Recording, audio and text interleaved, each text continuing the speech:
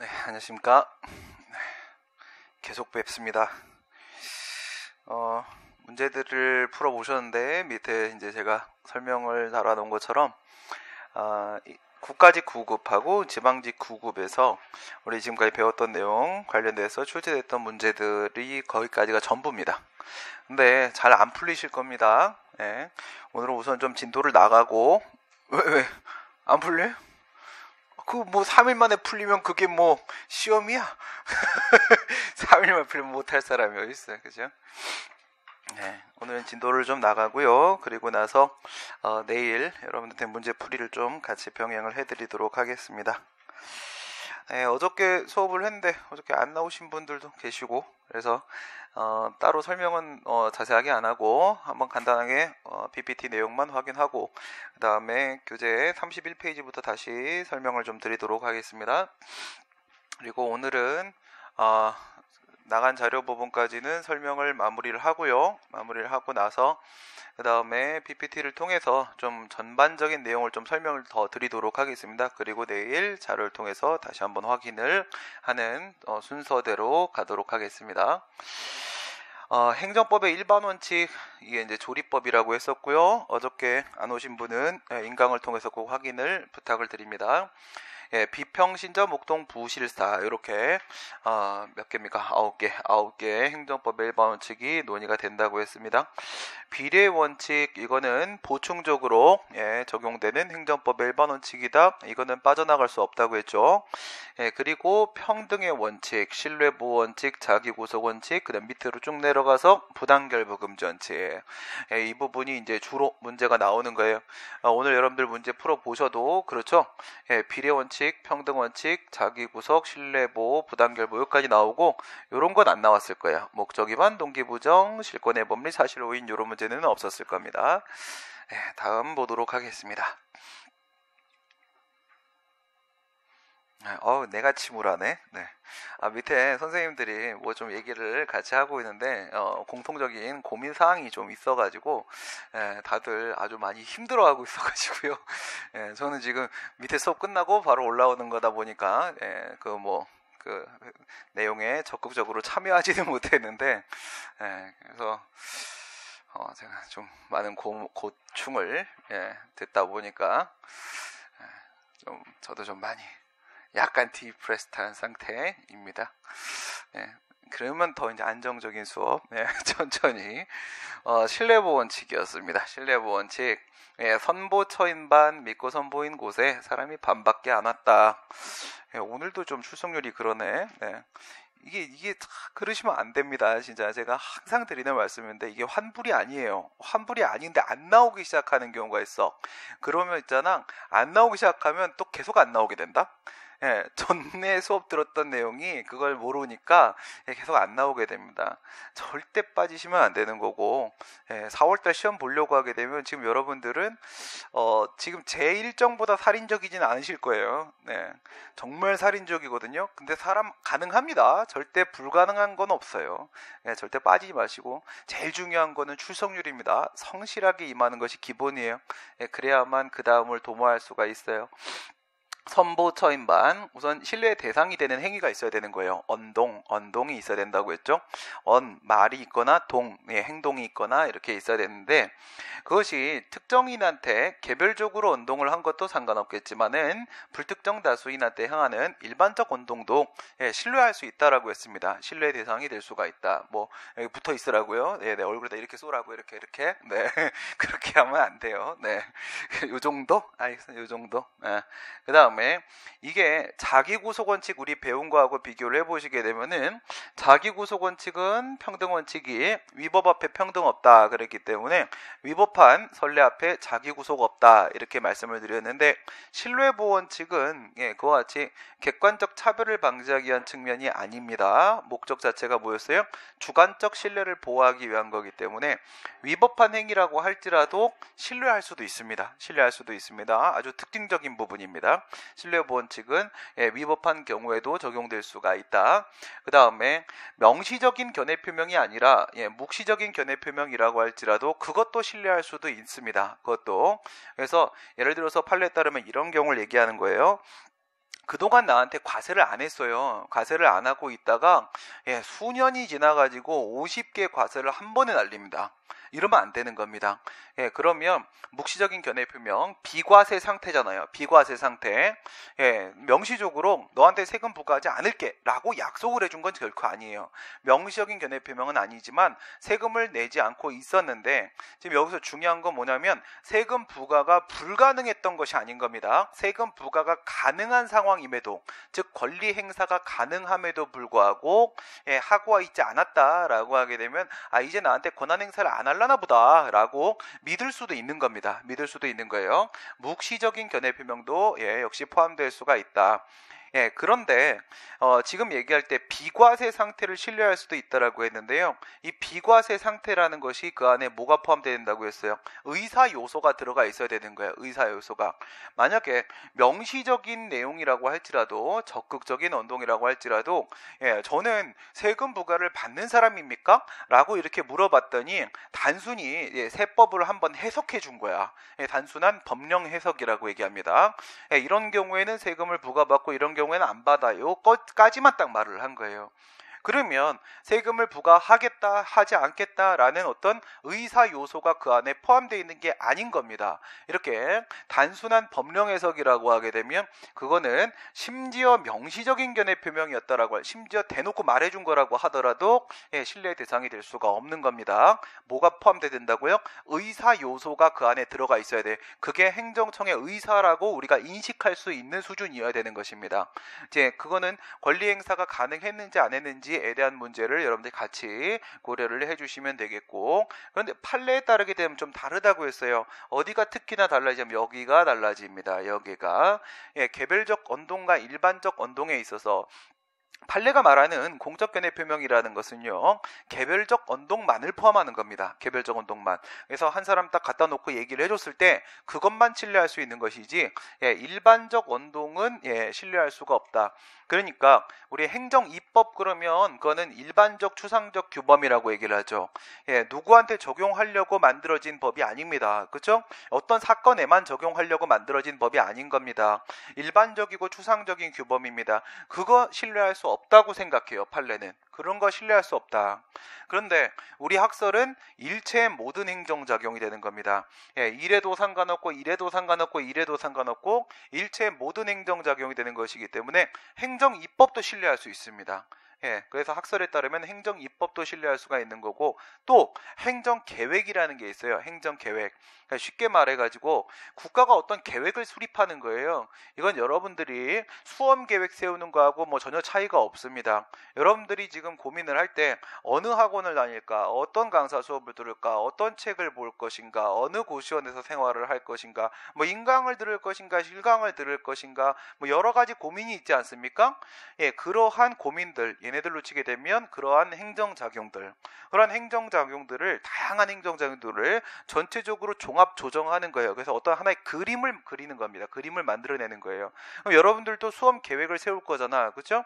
1년 안에 끝내겠다, 2년 안에 끝내겠다. 그렇게 하려면은 예, 이걸 좀 촘촘하게 계획을 세워야 되겠다. 아니면 약간 성글게 세운다고 할지라도 흔들리지 말아야겠다. 이런 계획들이 나오죠. 예, 국가도 그런 계획을 세웁니다. 국가도 예, 국토 전체를 예를 들어 도시계획이라고 하게 되면 국도 전체를 어떤 식으로 개발을 해야 되겠다. 올해는 뭘 하겠다. 내년에는 뭘 하겠다. 이런 도로 같은 경우에는 5년 안에 놓도록 하겠다. 이거는 10년 안에 뭐 KTX를 만들도록 하겠다. 이런 계획들을 세우게 됩니다.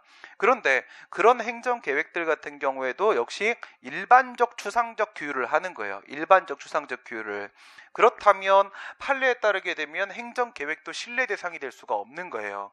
이건 제가 여러분들한테 말씀드리기를 공영 주차장 말씀을 드렸죠. 공영 주차장. 그거는 일반적 추상적 규율로서 행정 계획에 해당을 한단 말입니다.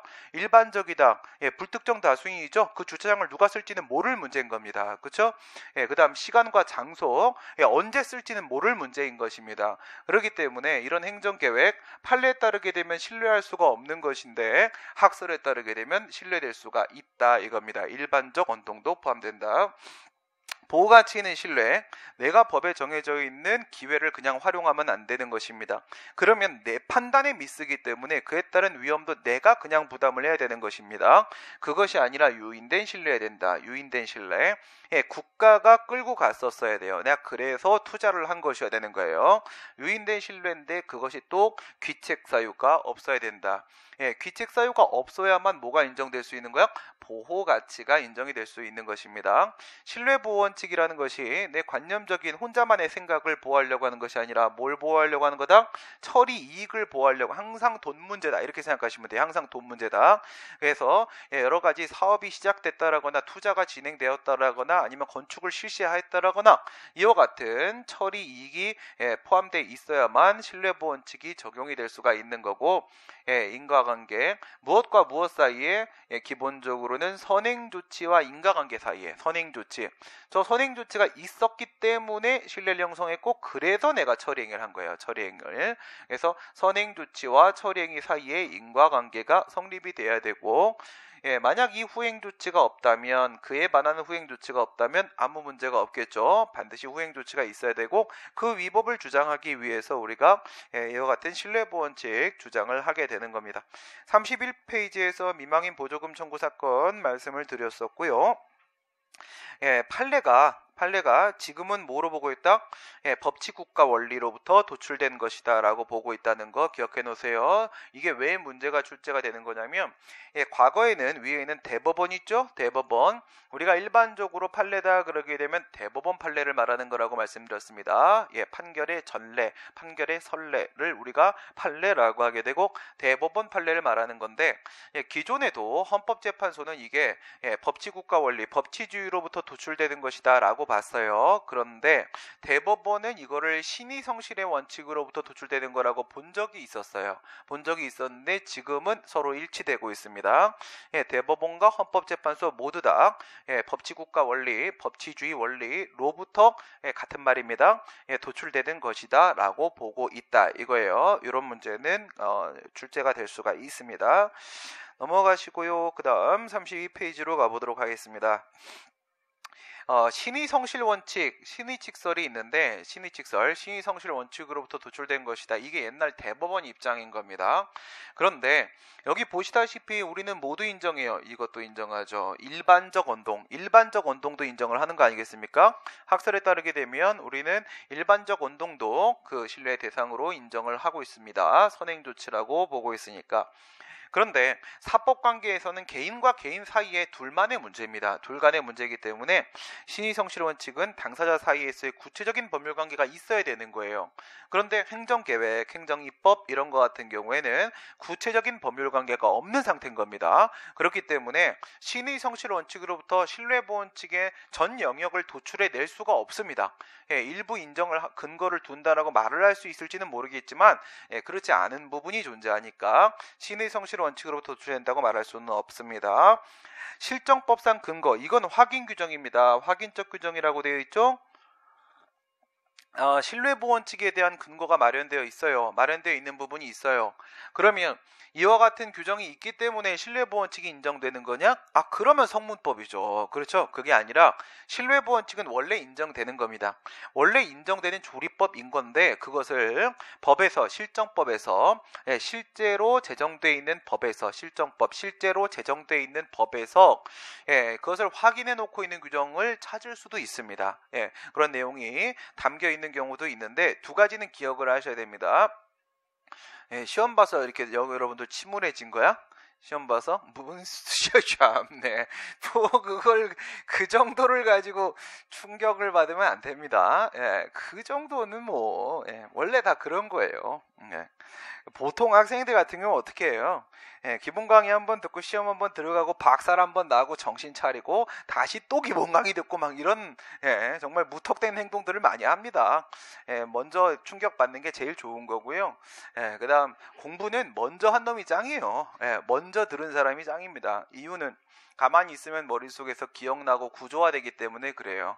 예, 그래서 먼저 공부한 사람이 무조건 유리하다.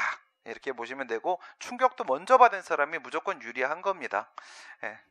뭐 너무 너무 신경 쓰지 마세요 그런 거는 네, 신경 쓰지 마시고 어 근데 진짜 문제가 풀리나 안 풀리나 이런 생각을 하시면은 제가 그래서 하프를 어 저기다가 뭐예요 인강에다가 2만 원에 올려놓으라고 내가 이렇게 얘기를 했을 거예요. 예.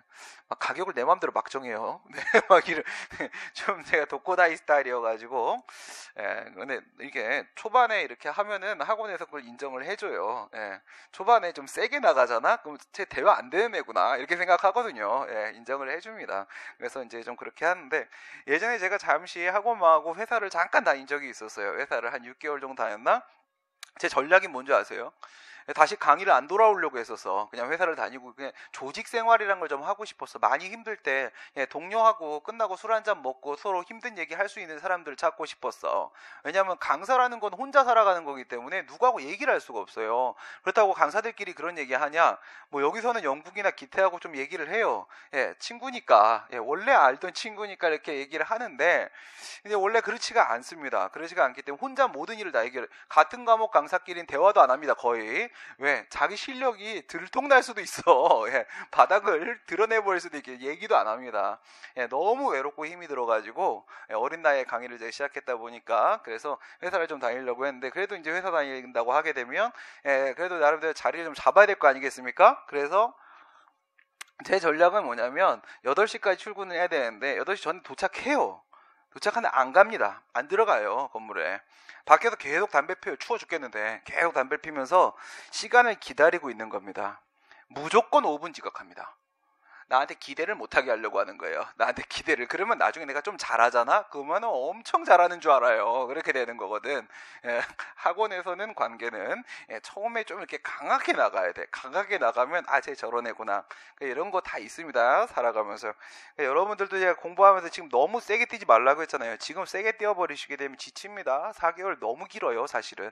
예, 짧으면 짧지만, 예, 길면 긴 거기 때문에 뭐 저렇게 맨날 말하는 게 짧다고 했다가 길다고 했다가 뭐 하나 제대로 말하는 게 하나도 없어. 그게 말하는 겁니다.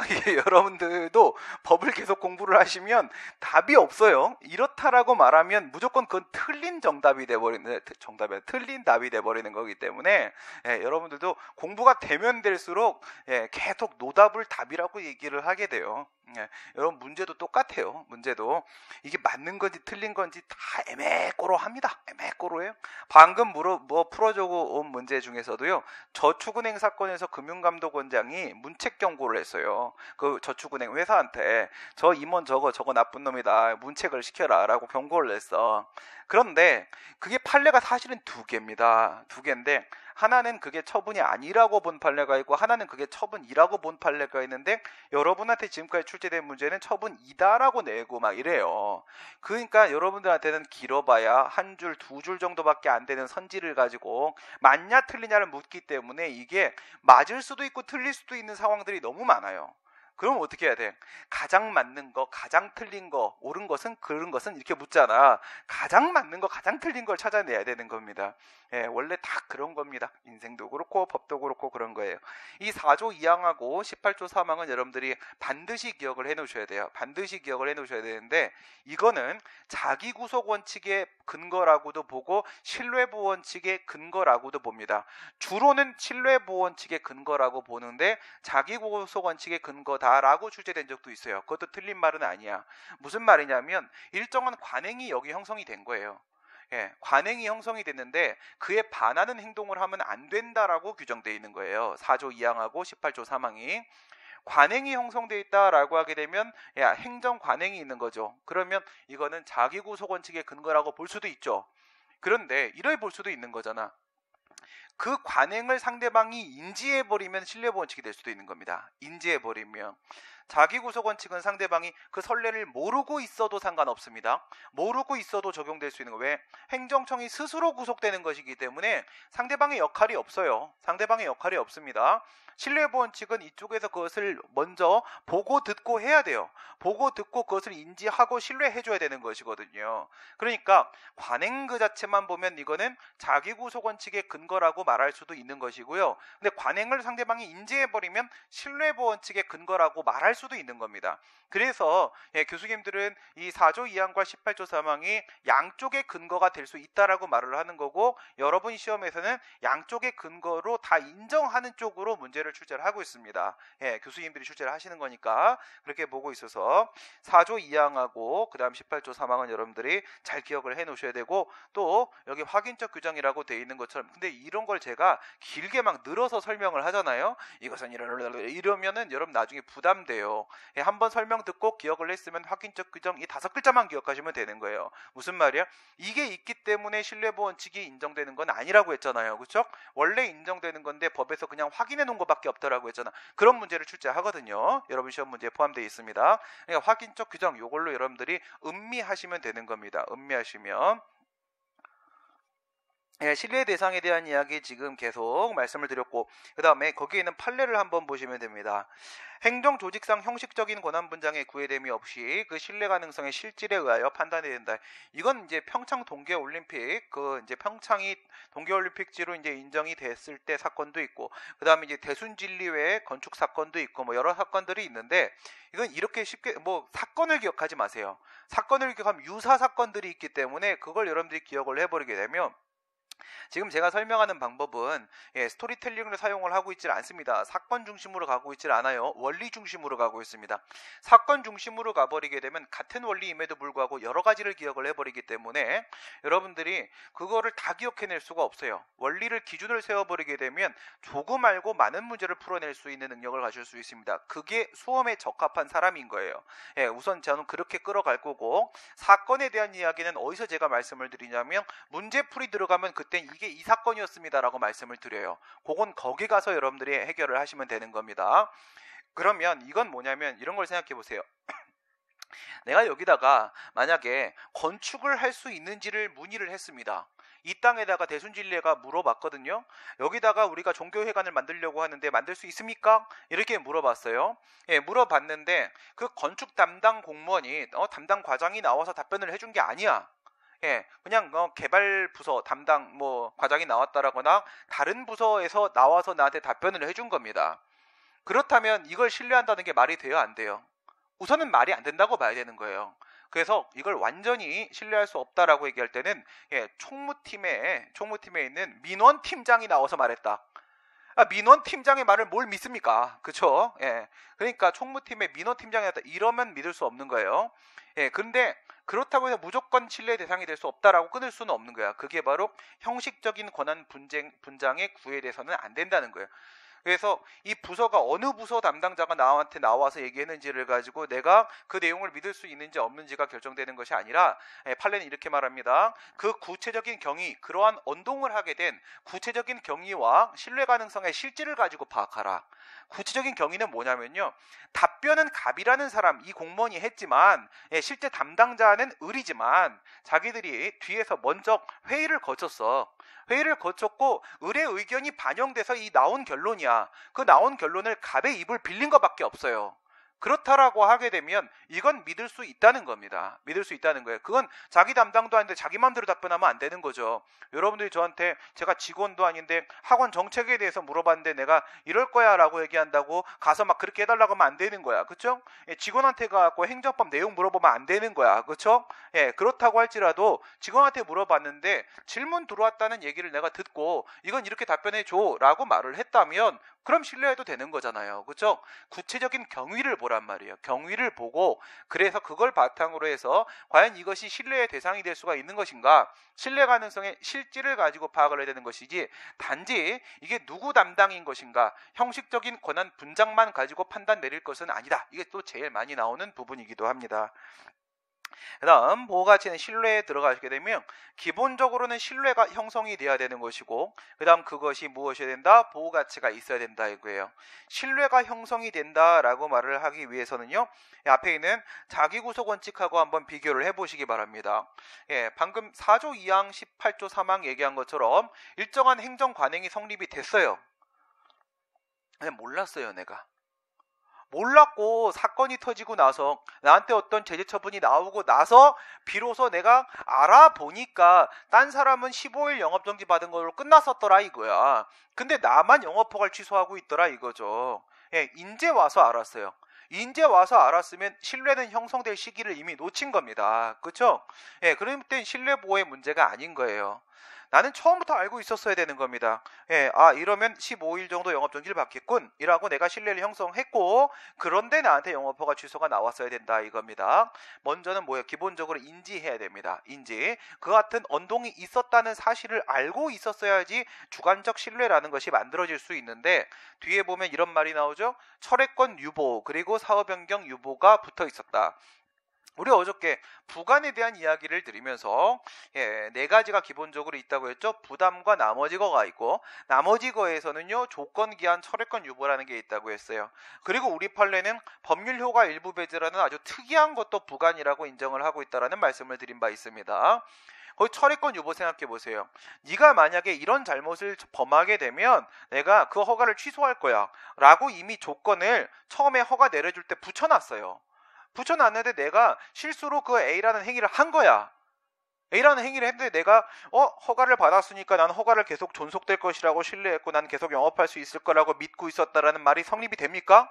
안 되죠. 이럴 때 취소될 거라는 걸 자기도 이미 알고 있었잖아. 그럴 땐 애초에 신뢰가 형성될 수가 없는 겁니다. 애초에. 그러면 신뢰가 없으면 보호가 치는 신뢰라는 건 원래부터 없는 거죠. 그죠? 예, 그 다음. 신뢰는 있었다고 칩시다. 신뢰는 있었는데 보호 가치가 있느냐 없느냐에 대한 문제가 생길 수가 있고요. 이건 핵심적으로는 귀책 사유가 있느냐 없느냐에 대한 문제예요. 내가 잘못한 부분이 있느냐 이거죠. 가장 쉬운 걸로 가장 많이 나오는 걸로는 뭐예요? 음주운전이죠. 음주운전. 나는 면허를 받았기 때문에 자동차를 계속 운전할 수 있을 거라고 믿고 있었다? 그런데 본인이 음주운전했잖아요. 그러면 귀책 사유가 있는 거잖아. 그쵸? 이거를 귀책 사유를 좀 더 강도를 높이면 뭐라고요? 국가기관을 적극적으로 농간하는 행위가 될 수 있다고 했죠. 농간 행위로 형의 이름으로 운전면허 취득한 사건을 기억해내시면 된다라고 했어요. 예, 형의 이름으로 사술의 방법으로 국가를 상대로 사기친 거야. 사기 쳐놓고 나서 그 면허가 계속 존속될 것이라고 믿었다? 이런 건 성립될 수가 없는 것이죠. 귀책 사유가 있으면 모는 허용될 수가 없다. 귀, 어, 보호 가치는 성립될 수가 없다. 그 다음 이제 2번, 3번에 대한 문제. 1번은 너무 눈에 띄니까 1번 예, 문제로만 따로 나올 때가 있고 2번, 3번은 얘가 많지가 않기 때문에 2번, 3번 요편 그대로 나옵니다. 요편 그대로. 뭐라고? 사전에 알고 있었다. 위법이라는 사실을 알고 있었다. 얘가 그 처분이 위법인지를 알고 있었어요. 그런데 그 허가 처분을 취소를 하니까 나는 허가를 신뢰했는데 라고 말하면 된다 안 된다 안 된다. 예, 이건 다른 문제입니다. 여기서 예, 위법한 행위에 대해서도 신뢰할 수 있다? 그래요. 신뢰할 수 있어요. 하지만 이건 차원이 다른 문제예요. 처음부터 위법인 걸 알고 있었어요. 그 얘기는 처음부터 그건 취소될 것을 내가 예상하고 있는 거예요. 이미 예상하고 있는 거기 때문에 그럴 때는 보호 가치가 인정될 수가 없다 이겁니다. 그다음 중대한 과실 이건 뭐였죠? 결격 사유 있는 사람에 대한 공무원 임명이라고 했어요. 결격 사유 있다. 공무원법도 한번 찾아보지 않고 공무원 시험에 응시하는 사람 자체가 잘못된 겁니다. 그렇죠? 학원들도 다 그 다음에 예, 이제 국가에서도 다 여러분들한테 알려주지 않습니까? 결격사유 이런 게 있, 법에 있는데도 여러분들한테 요강에다가 쫙 다 이렇게 깔아 놓잖아요. 그렇죠? 한 번은 봐야죠. 한 번은 봐야죠. 예, 읽어보지도 않고 예, 시험에 합격해버리면 안 되는 겁니다. 예, 이럴 때는 본인의 귀책 사유가 인정될 수가 있다. 그 다음에 어, 사업 투자를 한다라거나 건축 행위를 한다라거나 이런 식으로 반드시 처리 행위가 있어야만 처리 행위가 있어야만 신뢰보원칙 적용이 되는 것이고 인과관계 성립이 안 되는 경우도 있을 수 있어요. 인과관계는 보통 어떨 때 성립이 안 되는 거냐면요. 예, 인과관계는 그 행정지도 했을 때, 행정지도. 행정지도라는 것은요, 어, 상대방한테 그냥 단순히 권고하는 행위예요. 우리 행정절차법은 48조에 행정지도에 대한 별도의 근거를 두고 있고요. 예, 이건 상대방한테 이렇게 해보는 게 좀 어때? 라고 그냥 권고를 했어요. 그러면 이거는 상대방의 임의적 협력에 예, 맡겨지는 것입니다. 이미 예, 뜻에 맡긴다 이거야. 뜻에 맡긴다. 상대방의 자발적 동의로 행동하는 겁니다.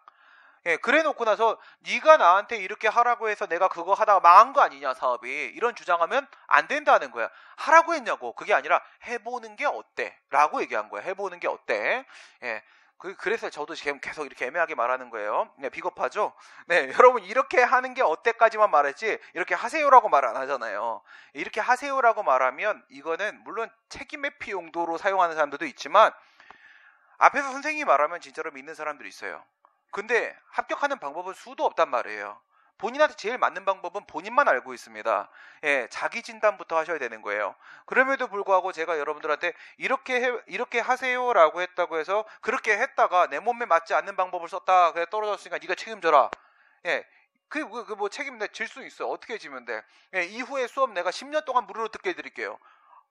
뭐 해드릴 수 있어. 그건 결국 여러분의 손인 겁니다. 그죠? 자기 진단을 하시고 나한테 맞는 방법이 무엇인지를 적극적으로 찾아 나가셔야 되는 겁니다.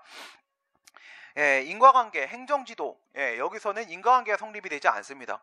국가배상에 가도 마찬가지고요. 인과관계는 행정지도에서는 거의 인정되기가 힘들어. 왜? 자기 뜻으로 한 거예요. 자기 뜻으로. 이렇게 해보는 게 어때? 라고 그냥 권고한 것밖에 없는 겁니다. 예, 이런 거 어디서 나오는 거라고 했죠? 말씀을 드렸었죠? 예, 일본에서 넘어온 거라고 했죠? 예, 일본에서 예, 걔네들 같은 경우에는 하명 처분을 하지 않아도 상대방이 하명을 한 것과 같은 효과가 발생하기 때문에 예, 이래 보는 거 어때? 그럼 걔네들 그냥 한단 말이에요. 근데 여러분도 느끼셨을 거예요. 예. 어, 이런 예를 들어드리지 않았나? 지금 경찰 공무원들 같은 경우에 젊은 경찰들 있잖아요. 아무것도 모른다고요. 예, 걔네들 지금 뭐 사과수 공부하고 경찰 된 애들이야. 어? 걔네들이 뭘 압니까? 형사법에 대해 아무것도 모른다고. 그 다음 누구? 미안한 얘기지만 1, 2기 로스쿨 출신 변호사들 아무것도 모른다고요. 아무것도. 예. 그때는 떨어지는 사람이 아무도 없던 시절이에요. 근데 지금 로스쿨 출신들 무시하면 안 돼요. 지금 로스쿨 출신들 4회부터 해가지고 합격한 친구들은 진짜 똑똑한 친구들이에요. 예, 40대보다 상황이 더 안 좋아졌어요. 어려워졌단 말이에요. 뽑는 숫자가 늘어났지만 강도 높게 트레이닝 시키고 있거든요. 예, 로스쿨 코스 자체가 토합니다. 예, 토해요, 진짜. 이 강사들 이 살인적인 그 일정이랑 비슷해요, 걔네들. 예, 방학도 없습니다, 걔들. 방학 때 우리 원래 어, 연수원 끝나고 하는 것처럼 그 연수를 방학 때 다 받아. 학기 중에 중간고사, 기말고사 보지, 중간에 또 경연대회 이런 거 있어요. 뭐 하여튼 시험을 무지하게 많이 받습니다, 애들이. 그죠? 처, 법을 처음 공부한 학생들한테 막, 막 쏟아붓는 거예요. 사람만 남으면 합격하는 시절이 있었어. 예, 시절이 있었는데 지금은 그렇지는 않습니다. 그래요. 그래서 예, 행정 지도 이런 거 생각해 보시게 되면 여러분들이 공무원이 와갖고 얘기하면 그냥 믿게 돼. 그 나보단 많이 알겠지. 이런 생각을 하게 되는데 예, 행정 지도는 안 그럴 수도 있고요. 예, 한 개로 한번 넘어가 보도록 하겠습니다. 이거 때문에 그래. 이것 때문에. 이거 이거 뭐 예 예, 예, 예. 자기 구속 원칙, 평등 원칙과 달리 위법한 행위도 신뢰할 수 있다고 했잖아요. 위법한 행위도 신뢰할 수 있게 되면은 이거 신뢰 보호해 주는 순간 무슨 문제가 생겨요? 법치 행정에 반하는 상황 발생할, 수, 발생할 수가 있죠. 그렇죠? 예, 법치주의에 반하는 결과를 초래할 수가 있습니다. 그 법치 행정은 뭐, 뭐가 적용되는 거다? 예, 2차 대전 이후에는 법치주의, 법률 적합성과 법적 안정성까지도 포함이 됐죠. 지금 이 신뢰 보호가 지금 법적 안정 얘기하고 있는 거예요. 법적 안정. 알겠죠? 법적 안정 얘기를 하고 있는 건데 이 법적 안정을 도모하다 보면은 법률 적합을 깨버릴 때가 있어요. 법률 적합을. 그러면 과연 어떻게 될 것인가? 신뢰를 보호해 주려다 보니까 위법한 행위를 계속해야 되는 상황이 발생해. 이거 어떻게 될 것인가? 이런 문제가 생기는데 이런 주장하시는 분은 이제는 뭐 거의 없다고 보시면 돼요. 법률 적합성 우위설. 법률 적합성 우위설. 법률 적 합성 원칙이 이 법적 안정성, 신뢰 보호라는 것보다 훨씬 더 우월한 원칙이기 때문에 예, 법률 적 합성 원칙을 희생시키는 상황이라고 하게 되면 신뢰를 보호해 줄 수 없다. 이렇게 만약에 말해 버리잖아요. 그럼 신뢰 보호 원칙은 무용지물 돼 버립니다. 무용지물 돼 버리거든요. 그럼 아예 처음부터 주지를 말지. 그쵸 그게 맞는 거예요. 그래서 그게 아니라 양자동의설, 이익교량설, 이익형량설 이렇게 부르거든요. 예, 양자동의설, 이익교량설의 입장에 따라서 예, 그때 그때마다 다르다. 그때 그때 다르다. 구체적 사안마다 다르다. 이게 결론인 겁니다. 법은 뭐라고 했습니까? 결국은 이익형량의 산물이 법이라고 했어요. 이건 어느 법이든 다 마찬가지예요. 그러니까 사실 법엔 정답이 없어요. 정답이 없습니다. 그렇기 때문에 어떤 이론을 배워도요, 여러분들이 형사법을 배워도 나중에 갖고, 예, 심심해갖고 한번 공부해 보시면 재미는 있습니다. 배워도 결론은 뭐냐면 사건마다 다르다야. 사건마다 다르다. 결론은 없는 거예요. 결론이 없는 겁니다. 그러니까 지금도 이거야. 원칙적으로 이러면 신뢰를 좀 보호해야 될 것 같긴 하다. 같긴 하다 이거야. 같긴 한데, 하지만 이걸로 끝나는 게 아니라 한계로 들어가시게 되면 예, 여기 와가지고 이익교량설 예, 결국 법률적 합성하고 형량을 내가지고 이 신뢰를 보호할 수 있는지 없는지 다시 판단하자. 일로 또 넘어가는 겁니다. 항상 뒤쪽은 이렇게 뭉뚱그려 버려요. 예, 그게 결론입니다. 그러면 판례를 보시면 후행처벌을 통해 달성하고자 하는 공익이 예, 개인의 신뢰 이익에 침해를 정당화할 수 있을 정도로 강한 경우에는 신뢰보원칙에 위반되지 아니한다. 이렇게 한번 비교를 해볼까? 예, 우리가 신뢰를 보호한다고 하죠. 신뢰를 보호한다고 하게 되면 그것은 무슨 문제가 되는 거다? 법적 안정의 법익을 얘기하고 있는 것이다. 그런데 그러다가 보니까 예, 누구의 형, 어, 희생을 요구하는 상황이 발생할 수가 있다. 예, 법에 그냥 정면으로 위반되는 경우가 발생할 수 있다. 법률 적합의 원칙과 이런 문제가 생긴다 이거예요. 여기가 바로 신뢰 보호죠. 여기가 신뢰 보호입니다. 예, 신뢰보호 그럼 바로 법적 안정이 떠올라야 돼. 그러면 있잖아 이걸로 사실 끝나지 않아요. 또 실제 사건 판례 보고 이런 문제 풀다 보면 이걸로 끝나지 않습니다. 초반의 시작은 여기서부터 시작이 됐어. 예, 법적 안정을 기하다 보니 법률적 합성이 날아가더라 이거야. 근데 이걸로 끝나는 게 아니라 이 오른쪽은 사익이에요. 국민의 개인의 이익을 보호하는 거 사익의 문제인데 예, 여기에는 법률적 항 말고 다른 공익까지 예, 그냥 이건 전반적인 공익입니다. 전반적인 공익. 이렇게 형량이 들어가게 되고, 이렇게 형량이 들어가게 되고요. 그러니까 법률 적합에서 플러스 알파가 생기는 겁니다. 이건 공익이니까.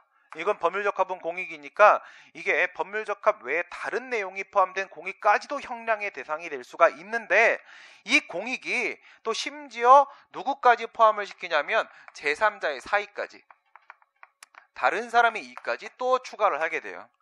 그러니까 결론은 그냥 이익형량이에요.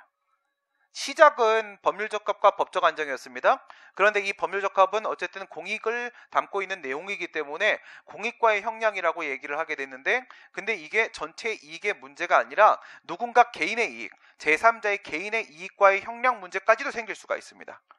그것도 신뢰보원칙의 한계입니다. 신뢰보원칙의 한계예요.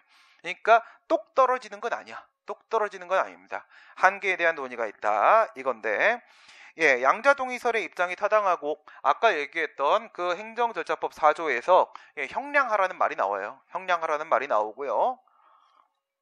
그런데 여러분 문제에 보면 또 이렇게까지 나옵니다. 이렇게까지. 이게 지금 1, 2, 3, 4, 5지. 1, 2, 3, 4, 5인데 이거를 어? 어, 신뢰보원칙의 적용 요건입니다. 저 왼쪽에 있는 PPT는 적용 요건. 이게 인정이 되면은 요게 인정이 되는 거야. 신뢰 보호의 예, 필요가 인정이 된 겁니다. 필요성이 인정이 된 거야. 보호해줘야 될 필요가 인정이 된 거거든요. 그 말은 다섯 가지 요건을 갖추면 예, 신뢰 이익이라는 게 어, 성립이 된 거다 이렇게 보는 거거든요. 성립이 된 거다. 근데 이 지금 신뢰 이익 이게 이게 왼쪽에 지금 얘기한 법적 안정이 사익이에요. 법적 안정의 사익인데 방금 우리는 어떻게 봤냐면 1, 2, 3, 4, 5의 다섯 가지 요건을 충족을 하게 되면 신뢰 보호 필요성이 인정되는 거다. 이렇게 봤어요. 인정되는 거다. 우선 인정을 시키고 신뢰 보호가 필요하다는 건 무슨 말이에요? 이 사람 권리 구제가 필요하다는 거예요. 이 사람 이 신뢰 보호라는 내용으로 이 측면에 있어서 뭐가 필요하다? 권리 보호가 필요하다. 이 사람의 권리 보호가 필요하다. 이렇게 들어간 거거든요. 근데 그렇다고 해서 필요하다고 해서 다 해줄 수는 없는 거잖아. 다 해줄 수는 없는 거니까 여기서 한계 논의가 나온 건데요. 그 한계를 이렇게 넣으시는 분들이 계세요. 6번으로. 여기까지 해서 결국은 누가 누구 이렇게 돼야만 이렇게 돼야만 이 사익이 공익보다 훨씬 더 월등히 크다라고 되어야만 즉 6번까지 인정이 되어야만 예 신뢰보호의 필요가 인정된다라고 보시는 분들도 계시거든요. 그러니까 문제가 다섯 개로 끊고 한 개로 출제하시는 분들이 계시고요. 자기 뜻대로 막 내시는 거예요. 예, 그걸 우리가 뭐라고 할 수 없어요.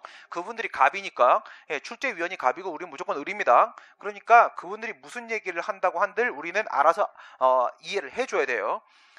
이걸 끊고 한 개로 처리하는 사람이 있고 이걸 포함해서 들어가시는 분이 계세요. 그럼 여러분은 끊는 거하고 그다음 포함해서 적용 요건을 잡아주는 거하고 어느 쪽이 국민의 권리 보호에 더 유리하겠어요?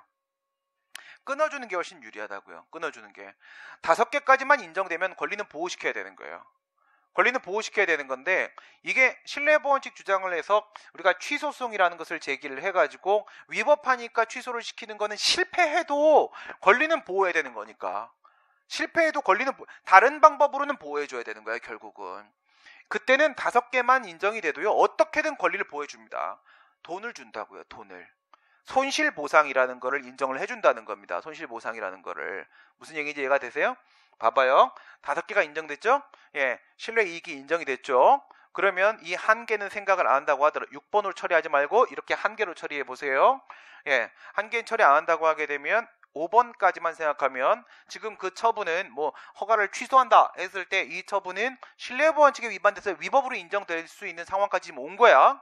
온 건데 이 한계에서 걸린 거야. 한계에서 예 근데 이 사람의 신뢰를 보호하려다 보게 되면 너무 많은 사람들이 오히려 이익 침해를 받게 되는 거야. 그래서 그 처분을 취소해 줄 수가 없어요. 그러면 결국 처분은 위법이 아니라 적법이라고 결론이 나버리고요. 난 패소해 버립니다. 취소성에선 패소를 당하는 거야. 제거는 못 하는 겁니다. 제거는 못 하는 건데 어쨌든 그건 형량의 문제였던 것이고 여기까지는 인정이 됐던 거잖아. 인정이 됐던 거니까 권리 보호는 필요하다고까지는 인정이 된 거예요. 그러면 그 다음에 손실보상 청구가 가능해져요. 그래서 적법이라고 했지 적법한 행위에 대해서도 돈 주는 게 공법 관계에서는 존재할 수 있다라고 했잖아요. 사법 관계에서는 손해배상이라는 것만 인정이 되고 있단 말이에요. 위법한 행위로 손해가 발생했을 때만 돈을 주는데 공법 관계에서는 적법한 행위로 인해서 이익 침해를 받은 사람에게도 돈 주는 경우가 있단 말이에요. 손실보상 제도라는 게 있단 말이죠. 밖에 싸웁니까? 어, 끼고 싶어. 네. 네. 네. 요즘에 그, 그, 뭐, 나쁜 도시의 나쁜 사람들? 뭐 그런 드라마가 하나 있어요. 예, 오신에서 하는. 예, 엄청 재밌습니다. 예, 드라마 보셔야 돼요. 합격하시려면. 네, 항상 드리는 말씀. 머리는 한번 쉬어줘야 됩니다. 하루에 한 시간은 무조건 머리를 쉬어줘야 돼요. 제일 좋은 방법 아무 생각 없이 드라마 보는 거예요. 그 사건 이해하려고 하지 마시고요. 예, 그냥 예, 예, 이렇게 보세요. 재밌게 예, 그렇게 하는 시간 무조건 필요합니다. 이게 뭐라고요? 포함하는 것보다 빼갖고 잘라주는 거. 잘라주는 게 어, 권리 보호에 훨씬 더 유리해. 국민한테 훨씬 더 유리해. 근데 여러분 문제 안에는 뭐가 포함되어 있냐면 이것까지 포함해서 적용 요건 처리하는 그렇게 접근하는 문제가 있어요. 그래도 어쩔 수 없는 거예요. 다수는 이렇게 갑니다. 다수는 이렇게 가는데 소수예요, 소수. 이거 포함하는 사람들은. 근데 그분이 출제 들어오신 거야. 예, 내보낼 수는 없잖아. 그렇지? 예, 그러니까 그렇게 들어오는 경우도 있다라는 것까지만 우선 여러분 나중에 문제를 보시면서 예, 확인을 해 보시면 되겠고요. 그다음 적용 영역으로 가보시게 되면 수익적 행정에 대한 취소, 취소의 취소의 다른 이름은 뭐라고? 폐지, 폐지, 그죠? 폐지 했을 때 직권 취소라는 게 있고 철회하는 게 있다고 했어요. 두 문자 뭐였지? 네. 예, 이제 따라합시다. 이제 어쩔 수 없어. 예, 시간이 없어요. 예, 위성소 적발장 시작. 예, 위성소 적발장 뭐라고요? 네, 예, 위성소 적발장 예, 위법 성립 소급입니다. 예, 위법한 행위에 대해서 성립 당시 하자를 이유로 소급해서 효력을 제거하는 게 뭐야? 직권 취소. 직권 취소. 오케이. 적발장. 적발장은 뭐예요? 적법한 행위임에도 불구하고 후발적 사유를 이유로 해서 철회하는 거는 뭐야? 장래를 향해서 효력을 제거하는 거. 그게 바로 뭐라고? 철회. 다시 위성소 적발장. 위성소 적발장. 이걸로 문제가 다 풀릴 겁니다. 위성소 적발장. 그래 폐지에는 무엇과 무엇이 포함된다? 직권 취소하고 철회하고 포함되는데 둘 합쳐서 우리가 취소라고 합니다. 근데 이거는 수익적 행정입니다. 침익적 행정이 상관없다고 했죠? 침익적 행정위는 취소하면 무슨 효과 발생해? 수익적 효과 발생하죠. 예. 그럼 그, 그런 사람이 있겠어요? 침익적 행정위를 신뢰했다고 주장한 사람이 있을까요? 예, 그런 사람은 없겠죠. 그렇죠? 나한테 영업 정지를 했어요. 예, 나한테 영업 정지를 했어요. 뭐 또는 이제 우리 이제 독거노인, 독거노인은 어디 있어요? 여기 있잖아요. 독거노인. 그렇죠? 독거노인. 예, 결혼 못 하고 있는 독거노인 이런 사람들이 지천명 이런 사람들이 있어요. 이 독거노인한테 저는 아직 뭐 보조금을 못 받고 있습니다. 예, 그런데 독거노인한테 내가 50만 원을 주다가 갑자기 국가에서 100만 원을 주겠다 해. 지자체에서 뭐 100만 원 주겠다고 해. 그러니까 이런 신뢰를 주장해. 나는 50만 원을 받을 거라고 신뢰를 했는데 왜 100만 원을 주느냐? 라고 하면서 내가 소송을 제기 할까요? 그렇지 않잖아요. 그렇죠? 돈 주면 thank you인 거지. 뭐 그걸 뭐 다툴 이유가 없는 거죠. 침익적 행정행위를 취소하는 건 아무 문제 없습니다. 오케이? 예, 수익적 행정행위를 취소할 때 그것이 뭐야? 기득권을 침해하기 때문에 기득권 매우 중요한 개념입니다. 기득권 이미 얻은 권리를 박탈할 때는 그때는 법적 안정성에 대한 문제가 아주 심각하게 제기되는 거예요. 그 때 제일 중요한 게 뭐라고? 신뢰 보호에 대한 문제가 나온다고 했었죠. 그렇죠? 나온다고 이거였습니다. 행정행위에 대한 직권 취소, 예, 위성소 위법한 데 성립 당시 하자로 소급해서 제거하는 것이다. 예, 적발장, 예, 적법한 데 후발적 사이로 장래에서 효력을 제거하게 되는 것이다. 위성소 적발장, 이 수익적 행정행위에서의 직권 취소 철회, 여기서 신뢰 보호에 대한 문제가 생긴다고 말씀을 드렸고요. 예, 여기서 이제 핵심이 바로 뭐예요? 취소 사유, 취소 사유, 그 다음에 법률 여부, 법률 여부 어제 설명드린 내용이죠. 이 제한 법리입니다. 제한 법리. 제한 법리에서 이 중간 허리가 제일 중요해요. 허리가 신뢰 보 원칙 요게 제일 중요한 거라고요. 신뢰 보 원칙에서 수익적 행정위를 취소할 때 그 내용상 적법성과 관련돼 가지고 신뢰 보 원칙의 문제가 발생하게 된다. 이거였었습니다. 예, 그 다음 행정계획에 대한 변경을 한번 보도록 하겠습니다. 행정계획. 우리 얘기했던 그 공영주차장 생각하시면 됩니다. 예, 들어가 봅시다. A라는 행정계획이 이렇게 있었습니다. A라는 계획이 이렇게 있었어. 그런데 그 계획이 요게 나한테 수익적이에요. 요게 나한테 수익적인 거야. 그런데 이제 지방자치단체가 예, 필요에 따라서 이 계획을 바꿨습니다. 변경을 해버렸단 말이야. 뭐로 바꿨어요? 예, B라는 계획으로 바꿨다. 시형 주차장을 사용을 하려고 바꿔놨어요. 나는 이제 주차할 데가 없습니다. 이렇게 된단 말이에요. 예, 이렇게 된다는 거예요. 여기서 이거를 싸우는 방법은 두 가지가 있어요. 두 가지가. 하나는 뭐가 있냐면 대놓고 공격하는 방법. 내가 싫은 건 뭐야? 아, A야 B야. 지금 싫은 건 B죠. 예, B에다가 그냥 소송 제기해 버려. 이렇게 제기해 버립니다. 이런 걸 뭐라 불러요? 이런 거를 그 침익적인 처분에 대해서 직접 취소 소송을 제기한다. 이렇게 얘기하는 직접 취소를 제기하는 방법이 하나가 있을 수 있습니다. 그렇다면은 이거 말고 어떤 방법도 있을 수 있을까요? 이거 말고 예, 요거를 이제 빨갱이로 이렇게 딱 두게 되면 이제 파랭이를 한번 보겠습니다. 얘한테 뭐를 신청을 하냐면 이렇게 바꿔달라고 신청을 하는 거야. 다시 돌려놔 되돌려줘 라고 신청을 해요. 그랬더니 얘가 해요? 행정청이 싫어 이렇게 거부를 하는 거예요.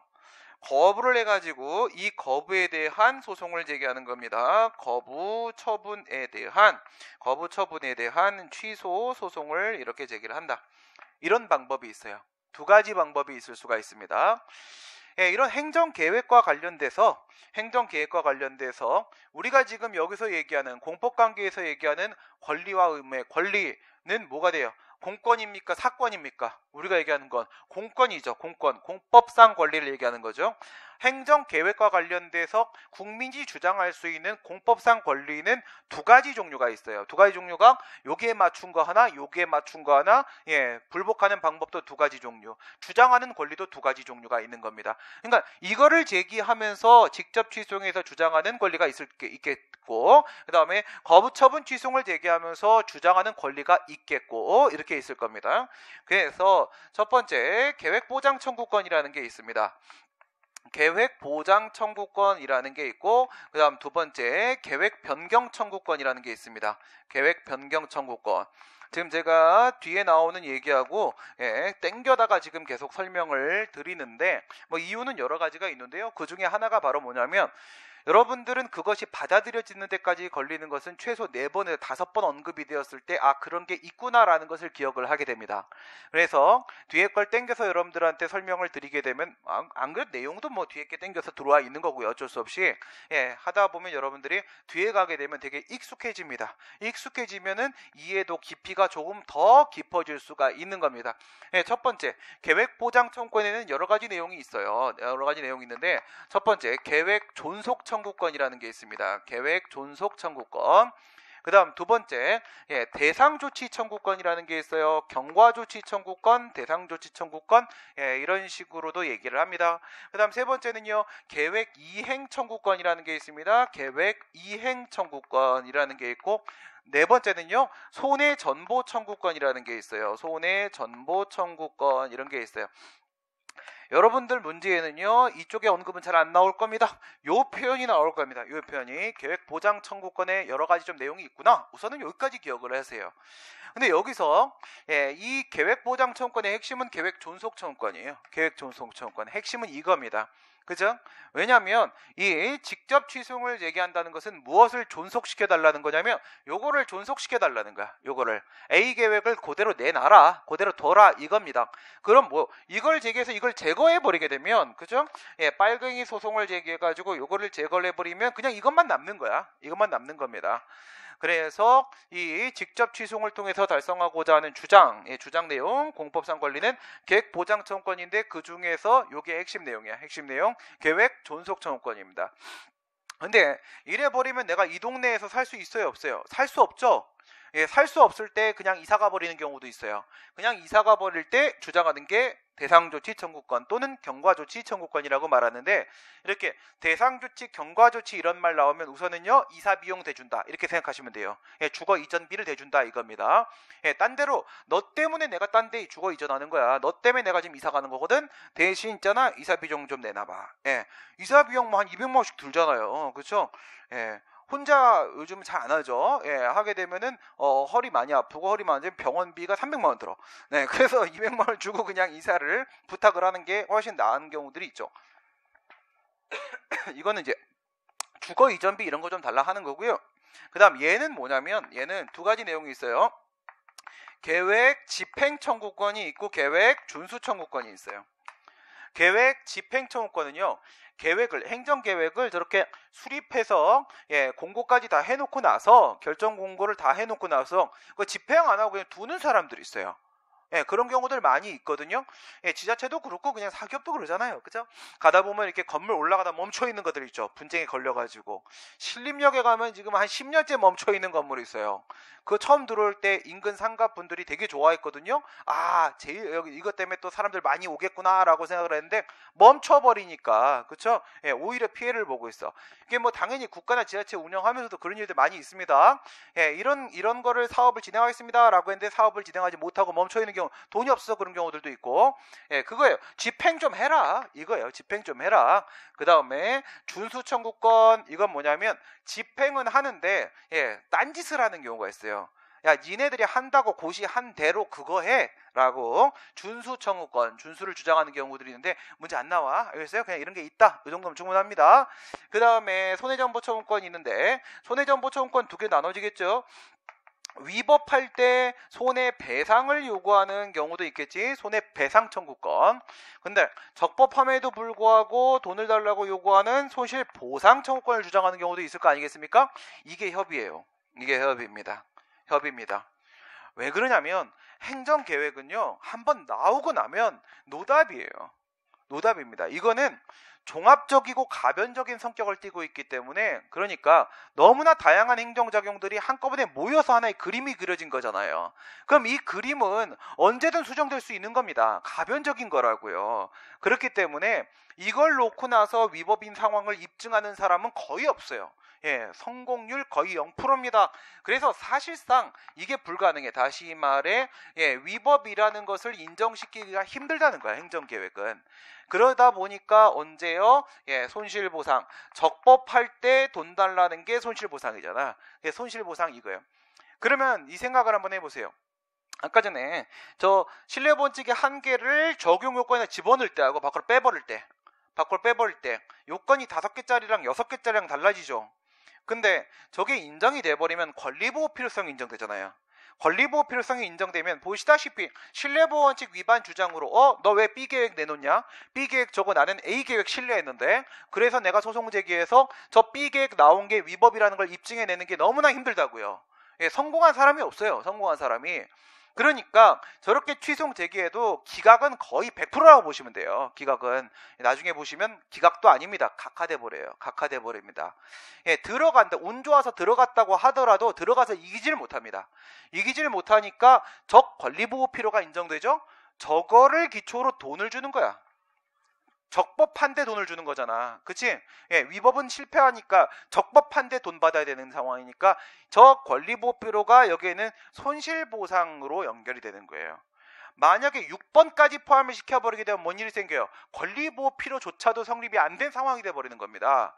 그래 버리면 손실보상도 주장할 수 없는 상황이 된단 말이에요. 오케이. 그래서 다섯 개 요건은 예, 최소로 가는 것이 국민한테 유리합니다. 왜 그런 거냐면 요건이라고 하잖아요. 법률 요건이라고 불문법도 요건이 있는 거라고 했죠. 예. 요건이라고 하게 되면 두 가지가 있습니다. 적극적 요건이 있고 소극적 요건이 있어요. 적극적 요건은 예, 플러스 방향, 소극적 요건 마이너스 방향인데 이 적극적 요건은 요건을 모두 갖춰야지 비로소 플러스 법적 효과가 발생하는 거야. 근데 소극적 요건은 여러 개가 있다고 할지라도 한 개만 걸리면 효과가 발생 못하게 되는 상황이 오는 거예요. 그러니까 저건 적극적 요건이거든. 적극적 요건이니까 저거 다 충족시켜야 돼요. 다 충족시켜야 되니까 많으면 많을수록 불리한 거예요, 당연히. 많으면 많을수록 적을수록 좋은 겁니다. 예, 이게 이제 계획 보장청권이고 그다음 두 번째 이겁니다. 거부 처분 취송을 제기하죠. 거부 처분 취송을 제기해서 여기서 주장을 할 수 있는 거는 계획 보장이 아니라 이런 걸 우리가 계획 변경 청구권이라고 그래요. 계획 변경 청구권. 지금 변경해달라고 했잖아. 얘가 이렇게 행정청이 알아서 변경을 해버렸잖아요. 그거를 지금 뭐 해달라고 한 거예요? 재변경해달라고 한 거잖아요. 재변경, 재변경. 다시 변경을 해달라라고 지금 요구를 하고 있는 거죠.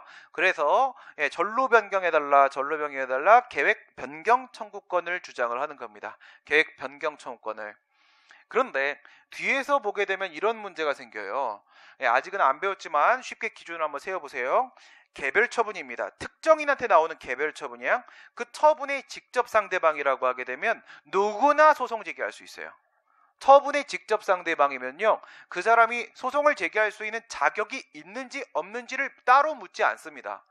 예, 위법한 공권력 행사에 의해서 자신의 권리나 이익을 침해당한 사람은 누구에게나 재판 청구권을 보장해야 된다 라는 거예요. 그런 걸 우리가 직접 상대방 이론이라고 하거든요. 처분의 직접 상대방이면 무조건 원고가 될 수 있는 자격 그런 걸 원고적격이라고 합니다. 원고가 될 수 있는 소송을 제기한 사람 원고라고 하죠.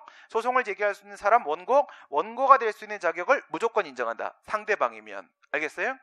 근데 처분의 제3자라고 하게 되면 처분이 내가 이 친구한테 냈는데 예, 이 친구는 뭐 하고 있는 건지 모르겠네요. 예, 눈 잠깐 팔게요. 눈을 이렇게 하면 실명을 시킬 수가 있다고 했죠? 네, 실명을 예, 눈 좀 파면 돼요, 그렇죠? 예, 그래서 예, 밑에서 눈두명 파고 왔거든요. 예, 그래서 뭐가 그래서 예, 처분이 내가 이 친구한테 나왔는데, 근데 옆에 있는 놈이 소송을 제기하려고 해요. 그 처분 제거해 달라고.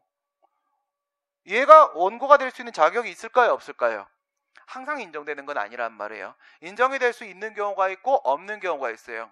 그러면 말이야, 이 행정 계획에 대해서 소송을 제기를 하게 되면은요, 이건 상대방입니까? 제3자입니까?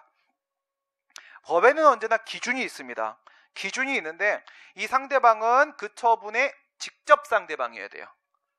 그 처분 통지서 송달받은 사람이어야 된다고요. 송달받은 사람이어야 돼요. 그런데 이런 불특정 다수인한테 하는 이런 행정 계획을 하면서 그 사람한테 송달해 줍니까? 나 지금 이거 행정 계획합니다라고 송달 통지서를 막 보내 줍니까? 그거 어디까지 보내줘야 되는 겁니까? 불특정 다수인인데 못 보내줘요. 그래서 이런 거 할 때는 어떻게 하냐면 예, 고시나 공고의 방법으로 한다고. 고시나 공고의 방법으로.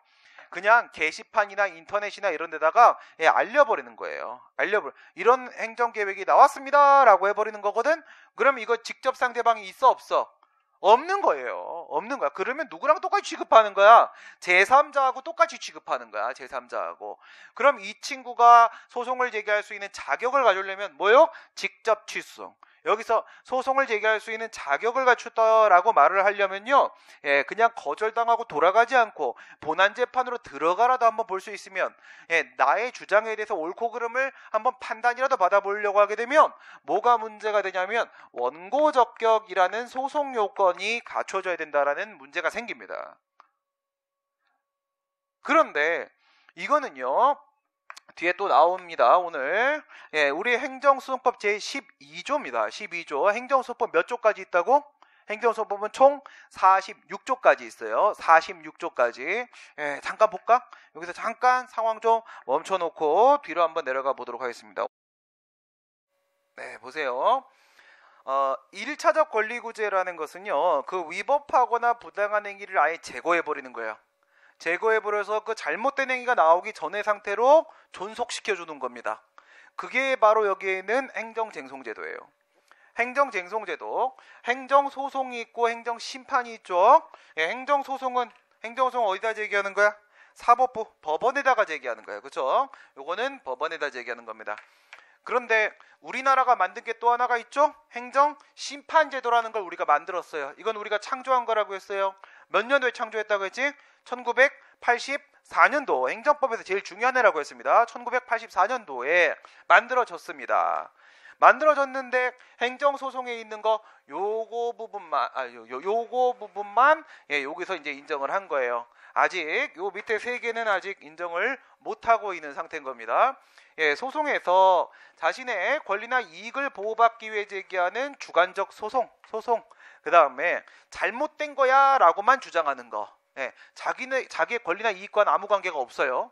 예, 요 민중 소송 요거 생각해 봐. 요거는 뭐냐? 선거 소송, 투표 소송 이런 겁니다. 선거 소송, 투표 소송. 그래서 예전에 노무현 전 대통령 당선됐을 때 거기다가 예, 전자 투표기, 개표기 사용했기 때문에 예, 이 사람 대통령 아니야라고 주장을 하는 사람이 있어도 왜, 왜 깜짝 놀라? 아니 아니면 안 되죠. 아니면 안 되지. 그치 예. 내 제일 좋아하는 사람인데 예, 아니면 안 되지. 대통령이었습니다. 대통령이었습니다. 네. 아니야라고 주장 소송을 제기한 사람이 있어요. 그러면 그래 그 뭐 당연히 노무현 싫어하는 사람도 있죠. 그 저희 아버지 아주 죽도록 싫어해. 예, 그 왜 그렇게 싫어해? 난 이해가 안 돼갖고. 예, 그래서 왜 싫어해? 막 그래. 그래갖고 예, 이 사람이 되고 나서 경제가 어려워져갖고 막 뭐 얘기를 하는 거야. 그래서 그 다음에 예, 이명박 대통령이 됐잖아요. 더 어려워졌지롱. 근데 왜욕안 해? 왜 안 해? 왜 안 해? 내가 막 그랬거든. 이건 그 이유가 아니었던 것 같아요. 그러면서 내가 예, 아버지의 합리적 판단을 촉구합니다. 네, 이렇게 막 요구를 하고 그래서 안 친해 아빠랑. 네, 그런 거야. 예, 그래서 여기서 이게 바로 뭐야? 선거 소송을 제기를 한단 말이야. 그러면 그래도 내가 당선 무효를 시켰어. 당선 무효를 시켜서 대통령 이제 못해. 그럼 나의 어떤 권리나 이익과 무슨 관계가 있습니까? 그렇죠? 아무 관계가 없는 거죠. 그래서 이득 보는 게 뭐가 있어? 없단 말이에요. 없단 말이죠. 그런 게 바로 뭐냐? 민중소송이라고 합니다. 민중소송. 이거는 소송을 제기하는 갑이라는 사람이 있으면 그 사람이 예, 이거에 대해서 반대하는 사람의 전체의 대변인으로서 소송을 제기하는 거예요. 그래서 그냥 잘못된 행정작용이면 그냥 제거만 원하는 겁니다. 무슨 말이에요? 행정 통제만을 목적으로 하는 소송. 행정 통제만을 목적으로 하는 거야. 그럼 이제 알겠지? 비교해 보면 위에 있는 거, 이 주관 소송이라는 건 뭐야? 이건 행정 통제에서 끝나는 게 아니라 행정 통제를 넘어 권리 구제까지 도달하는 소송이 되는 거예요. 결국 종국적인 목적지는 어디야? 권리 구제에 있는 거라고. 권리 구제. 예, 이거는 권리 구제 물론 중간에 행정 통제를 거치게 됩니다. 거치게 되는 이건 행정 통제 그 자체만이 목적이 되는 겁니다. 여기에 이제 뭐가 포함이 되냐면 예, 얘네 둘 있죠? 얘네 둘. 예, 얘네 둘하고 얘는 셋다, 셋다 이렇게 되는데 여기 소송을 중심으로 봅시다. 이건 나중에 배울 거니까 예, 소송을 보시게 되면 취소하고 무효 확인 소송이 있고 부작위협 항소송이 있어요. 우선 기본적으로 어떻게 생각을 하는 거냐면요. 행정청이 뭔 짓을 해 나한테 무슨 말이야? 작위 그렇죠? 예, 법에서 행위 그러면 작위와 부작위와 두 개가 있다고 했죠. 작위를 했어. 그 작위에 대해서 내가 싸우면 둘 중에 하나로 가는 거야. 둘 중에 하나로. 근데 내가 뭘 좀 해달라고 했는데 부작위를 했어요. 침익적 처분을 부작위한다고 싸우는 사람이 있을까? 그런 사람이 있어요? 우리 실권의 범위 배운 거하고 완전 반대 상황이잖아. 그쵸? 나한테 영업허가 취소 처분, 운전면 취소 처분 나와야 될 게 예정이 돼 있는데 예상이 되고 있는 상황인데 근데 행정청이 운전면 취소를 안 하네. 왜 안 해? 이렇게 소송제기한 사람 있어? 부작위 파인 소송직에서 또라이라고 했죠. 말이 안 되는 거야. 이건 뭐야? 항상 수익적인 행위를 대상으로 하고 있는 겁니다. 부작위확인 소송은 내가 허가 같은 걸 신청을 했는데 근데 부작위를 내서 말 좀 하라고 입 좀 벌려 이거에 부작위 확인소송의 목적은 이거 안 합니다 입 벌리는 거 왜 이렇게 입이 무거워 이게 목적이야 얘는 뭐라고 말을 했기 때문에 문제가 되는 거예요. 근데 이 말을 하는 거는요, 에라이 이렇게 딱 면허를 취소하는 이런 것도 에라이 세금 좀 내라 이렇게 말하는 것도 있지만 모두 있냐면 싫어도 있어. 싫어. 거부. 거부. 내가 허가를 신청했어. 근데 제가 아무 말도 안 하지? 아무 말도 안 하면 무응답하는 거니까 무응답은 부작이거든. 무응답은 이코로 부작이에요. 그러니까 이걸 제기하게 돼. 내가 허가를 신청을 했는데 걔가 싫어! 이렇게 거부를 하지? 그러면 어디로 올라가냐면 이거 둘 중에 하나로 가는 거야. 이거 둘 중에 하나로. 그러면 이 위에 있는 이거 두 개는 자기네, 얘는 부작이네. 그럼 구분을 했어. 이거 두 개는 무슨 차이가 있어요? 두 개는 행정행위에는 공정력이라는 아주 특유의 효력이 있다라고 했죠. 예, 우선은 공정한 것으로 봐야 된다고 했어요. 그렇게 보지 않으면 국가가 운영이 될 수가 없다라고 했습니다. 공정력이라는 게 있어. 어떨 때 그것을 무효라고 보게 된다고? 무효라고 보게 되는 기준이 하나 있어. 그것 빼고 나머지는 다 뭐에 유효한 걸로 인정해 버려요. 위법은 위법인데 여전히 존재하고 있는 겁니다. 여전히 유효한 것으로 인정을 하게 되거든요. 어떨 때 아예 무효라고 봐버리냐? 처음부터 아예 태어나지도 않은 처분이라고 봐버리는 거냐? 그건 바로 중대하고도 명백해야 됩니다. 그냥 그 위법이 진짜 큰 잘못이어야 돼요. 큰 잘못이어야 되고 그다음 두 번째 누가 봐도 명백해야 돼요. 누가 봐도 뭐가 명백해야 돼? 항상 기준이 있어. 뭐가 위법 임이 명백해야 돼. 위법 임이. 여기엔 이론이 있어요. 무슨 이론이 있냐면 민모 이론이라는 게 있어요. 민모 이론. 민모 이론이 뭐야? 우리 엄마 이론이에요. 우리 엄마 이론. 예.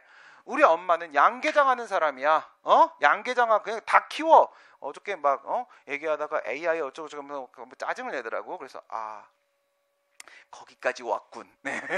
이런 생각, 지난번에 잘 피했다고 그랬는데, 이번에 아주 네, 상황이 안 좋다. 뭐 이런 얘기를 하시더라고요. 양계, 닭을 키우고 계신데, 우리 엄마는 법을 하나도 몰라요? 근데 우리 엄마가 딱 봐도 저 단계, 저게, 아유, 씨, 말도 안, 이렇게 얘기하면 무효예요. 알겠어요? 중대하고도 뭐라고? 일반인의 관점에서 명백한 위법일 때만 있을까 없을까? 거의 없어요.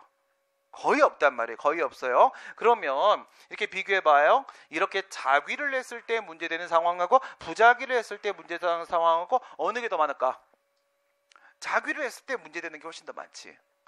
그런데 그게 위법이지만 여전히 유효한 경우, 즉 예, 누군가가 취소를 해줘야 되는 경우 취소 사유라고 합니다. 취소 사유에 해당하는 경우하고 무효 사유에 해당하는 경우하고 어느 게 더 많다고? 예, 취소 사유에 해당하는 경우가 훨씬 더 많단 말이에요. 그래서 이걸 제일 많이 쓰는 겁니다. 이걸 제일 많이 쓰는 거예요. 취소 소송을. 잠깐 뒤로 다시 한번 가봅니다. 넘어가 봤습니다.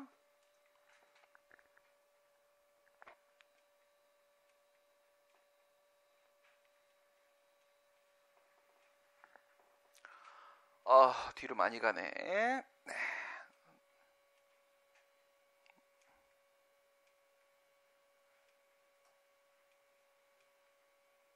네, 봅시다. 행정소송법은 여러분들이 예, 뭐가 있는지 46개 다 알아야 돼요. 행정소송법은 어떻게 만들어져 있냐? 1조에서 46조까지 40 몇 개밖에 없어? 6개밖에 없어. 6개밖에. 행정소송은 민사소송이나 형사소송과 비교했을 때 예, 뭐 우린 비교 대상이 아니에요. 우리가 제일 어려워요. 예. 이렇게 어려운 소송 절차인데 왜 요거밖에 없어? 왜 요거밖에 없어? 이유는 나다 다른 법을 다 준용해요. 우리만 갖고 있는 아주 특이한 절차 있죠? 아주 특이한 절차 그것만 따로 정하는 겁니다. 나머지는 다 민사소송법이나 이런 걸 어, 준용을 해다가 사용을 하게 되는데 예, 보시면 어, 어, 행정소송 절차 전체 다 적용되는 거가 총책 1조에서 8조에 쭉 깔려요. 예, 모든 소송 종류가 몇 개 있었어? 항고 소송, 당사자 소송 방금 그 다음에 민중 소송, 기관 소송 앞에 두 개가 주관적 소송, 뒤에 두 개가 객관적 소송 이렇게 되어 있었죠. 네, 거기에 모든 소송에 다 걸리는 게 8조까지 이렇게 있단 말이야. 그 다음에 9조부터 34조까지 걸리는 게 바로 취소송입니다. 이게 취소송이에요. 그 다음에 보시면 35조에서 38조까지 몇 개 안 되지? 몇 개 안 되는데 여기에 있는 게 무효하고 부작위 소송이에요. 무효하고 부작위 소송이 여기 걸린단 말이에요. 요거 맨 끝에가 몇 조야? 38조야. 38조. 38조 1항에는 무효확인 소송, 38조 2항에는 부작위 여파인 소송에서 무슨 얘기를 하냐면 이 9조에서 34조에 있는 내용들을 그 무효확인 소송이나 부작위 여파인 소송에다가 끌어내려. 끌어내려. 준용시키는 거야. 끌어내립니다. 큰 차이 없는 건 끌어내립니다. 끌어내려요. 그러면 처음부터 끝까지 A부터 Z까지 다 규율하고 있는 건 뭐밖에 없어? 취송밖에 없어요. 취송밖에. 예, 그 다음에 당사자 소송이 있었죠? 여기까지가 주관적 소송. 얘는 39에 44. 또 끝에 끝에 끝에 44. 44조도 1항, 2항이 있어요. 여기 1항, 2항에서 뭘 하고 있냐면 위에 있는 이것도 예, 2번에 있는 거, 9에 34까지 있는 거 또 끌어내려. 끌어내려서 예, 유사한 내용은 준용한다라고 돼 있어요. 그다음 이거 있죠. 이거 이거 객관적 소송. 이건 서비스 소송. 서비스 소송. 우리는 행정송이기 때문에 서비스가 있어요. 서비스가 자신의 법률상의 권리와 아무 관계 없는 소송을 제기해도 받아주는 경우가 있는 거예요. 이건 예외적으로 서비스해 준 거예요. 우리가 서비스 소송인데 원래 없어도 되는 겁니다. 없어도 되는 건데 예외적으로 인정한 건데 두 개밖에 없어. 두 개밖에 없지. 두 개밖에 없고 역시 마찬가지로 요거 두 개인데 그 중에 하나가 46조에서 위에 있는 거 9에서 34에 있는 걸 끌어내린단 말이에요. 그러면 행정소송법은 누구를 중심으로 움직이고 있습니까? 취소송을 중심으로 움직이고 있죠. 그래서 이런 거를 취송 중심주의 원칙이라고 얘기하는 거예요. 취송 중심주의 원칙. 네, 문제 또 자주 나옵니다. 취송 중심주의 원칙에 따라 구성되어 있는 게 바로 행정소송법이다. 행정소송법이다. 이거예요. 예, 그래서 지금 계속 취송 얘기하는 이유가 그런 거예요. 취송 얘기하는 경우가 자귀하고 부작위 지금 자귀와 부작위야. 자귀지, 그쵸? 부작위에서 문제되는 게 아니잖아요. 예, B라는 계획을 내놨잖아. 자귀죠? 자귀인데 저게 처분이에요. 예, 처분인데 어, 취소 사유가 더 많아, 무효 사유가 더 많아, 취소 사유가 더 많아. 예, 행정계획은 무효 사유 아예 없다고 보시면 돼요. 아예 없다고 보시면 됩니다. 그래서 취송을 제기한다 이겁니다. 그런데 여기서 9에서 34까지 중에서 12, 12 예, 46개 중에 26개가 취송인데 12조에 가게 되면 누가 저 취송을 제기할 수 있는 자격이 있는지에 대한 언급이 나와요. 그런 걸 뭐라 부른다고요? 원고 적격이라고 부른다고. 원고 적격.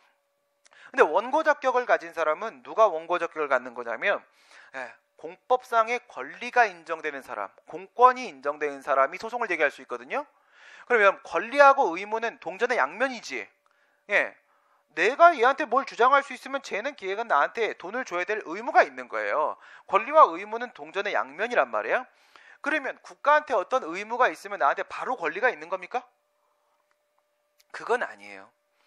국가한테 어떤 의무가 있지만 나한테 권리가 인정되지 않는 경우도 있습니다. 알겠어요? 이게 또 사법 관계의 차이예요.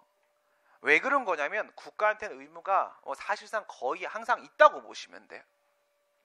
사법 관계 같은 경우에는 먼저 사건이 발생을 해야 돼요. 예, 먼저 사건이 발생하면 비, 그때 가서 비로소 법을 적용시킵니다.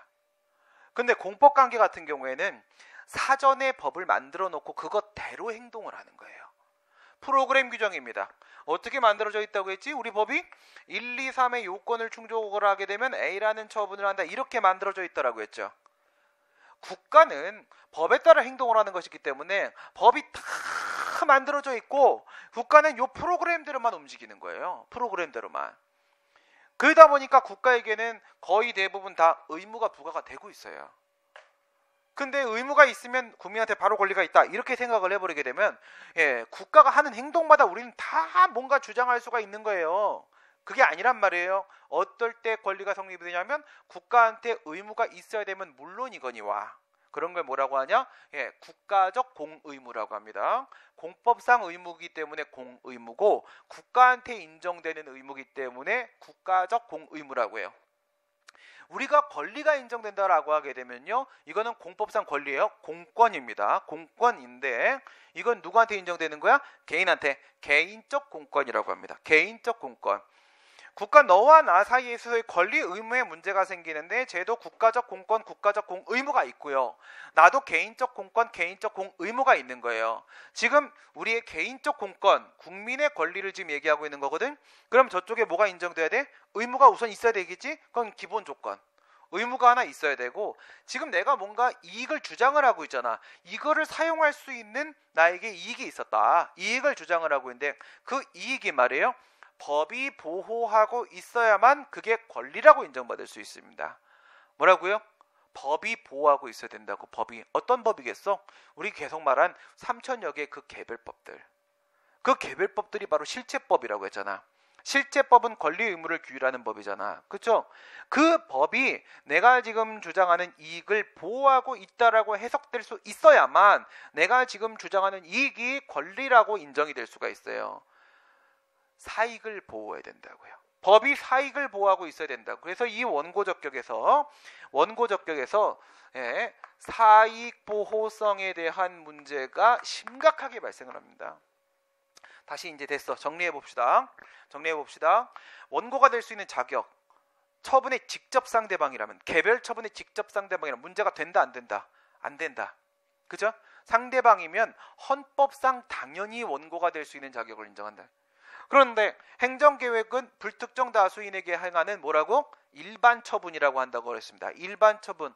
그럼 여기 소송 제기하는 사람이 직접 상대방이 아니야. 아니면 뭐랑 똑같이 취급을 한다. 처분의 제3자하고 똑같이 취급을 하게 된다는 거예요. 제3자하고.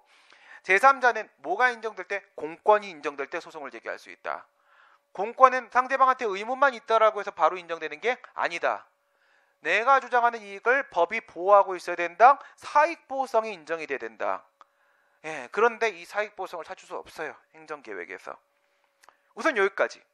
그다음 두 번째, 요 계획 변경 청구권 한번 생각해 봅시다. 이걸로 지금 변경을 해 달라고 내가 요구하는 거지. 변경해 달라고 요구를 하는 건데, 그럼 내가 먼저 뭘 해야 돼요? 바꿔줘요. 라고 말은 해야 될 거 아니야. 그죠? 바꿔줘요. 라고 신청을 해야 돼요. 그럼 이 신청이라는 거에 대해서 항상 상대방의 응답을 해야 될 의무가 있을까요? 그렇지가 않아요. 저것도 권리의 기초에서 신청을 해야지 상대방이 응답을 해야 될 의무라는 게 있어요. 알겠습니까?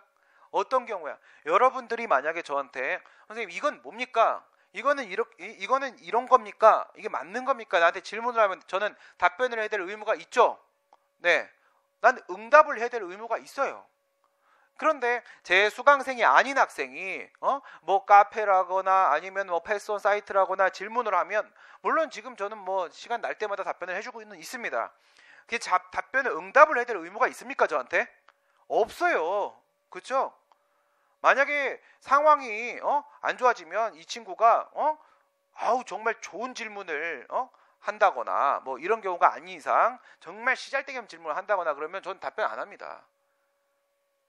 그리고 얘한테만 도움이 될 만한 내용이라고 하면 답변 안 합니다. 답변을 하면 우리 수강생들한테 피해를 끼치는 거잖아요. 여러분들하고 그 질문하는 사람하고 사이에는 경원자 관계가 성립돼요. 경원자 관계가 뭐냐? 경쟁적으로 원하는 사람의 관계입니다. 공무원이 되기를 경쟁적으로 원하는 사람들이잖아요. 그렇다면 한 사람이 합격하면 우리 쪽에서 한 사람이 떨어져야 될 수도 있는 거예요. 서로 양립할 수 없는 배타적 관계라고요.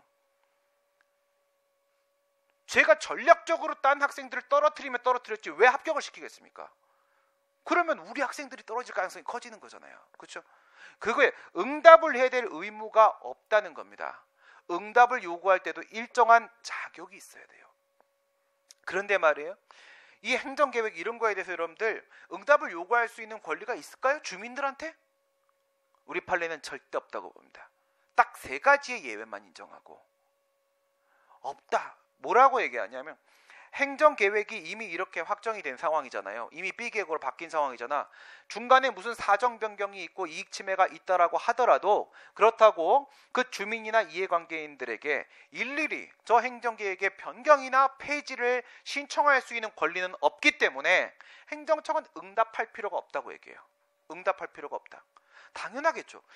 만약에 어, 동작구 주민이 50만 명이라고 생각해 보세요. 동작구에다가 사람들이 좀 싫어하는 행정 계획을 동작구청장이 하나 딱 꽂아 버렸어요. 그러면 이놈 저놈 와서 얘기할 거 아니겠습니까? 이렇게 바꿔주세요, 저렇게 바꿔주세요 얘기하겠죠. 그럼 동작구청장이 거기다 한, 한마디씩만 답변을 해도 예? 자기 임기 내내 답변해도 답변을 못해요. 답변 내용을 떠나서 답변만 하는데 시간 다 쓴다는 겁니다. 답변할 이유 없어요. 의무도 없는 겁니다.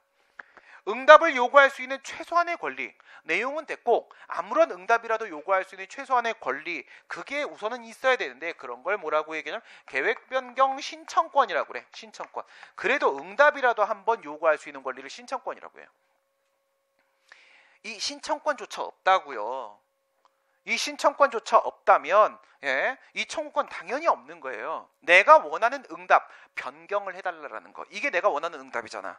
내가 원하는 내용의 응답을 요구할 수 있는 권리는 없는 겁니다. 왜? 애당초 응답을 요구할 수 있는 권리가 없으니까.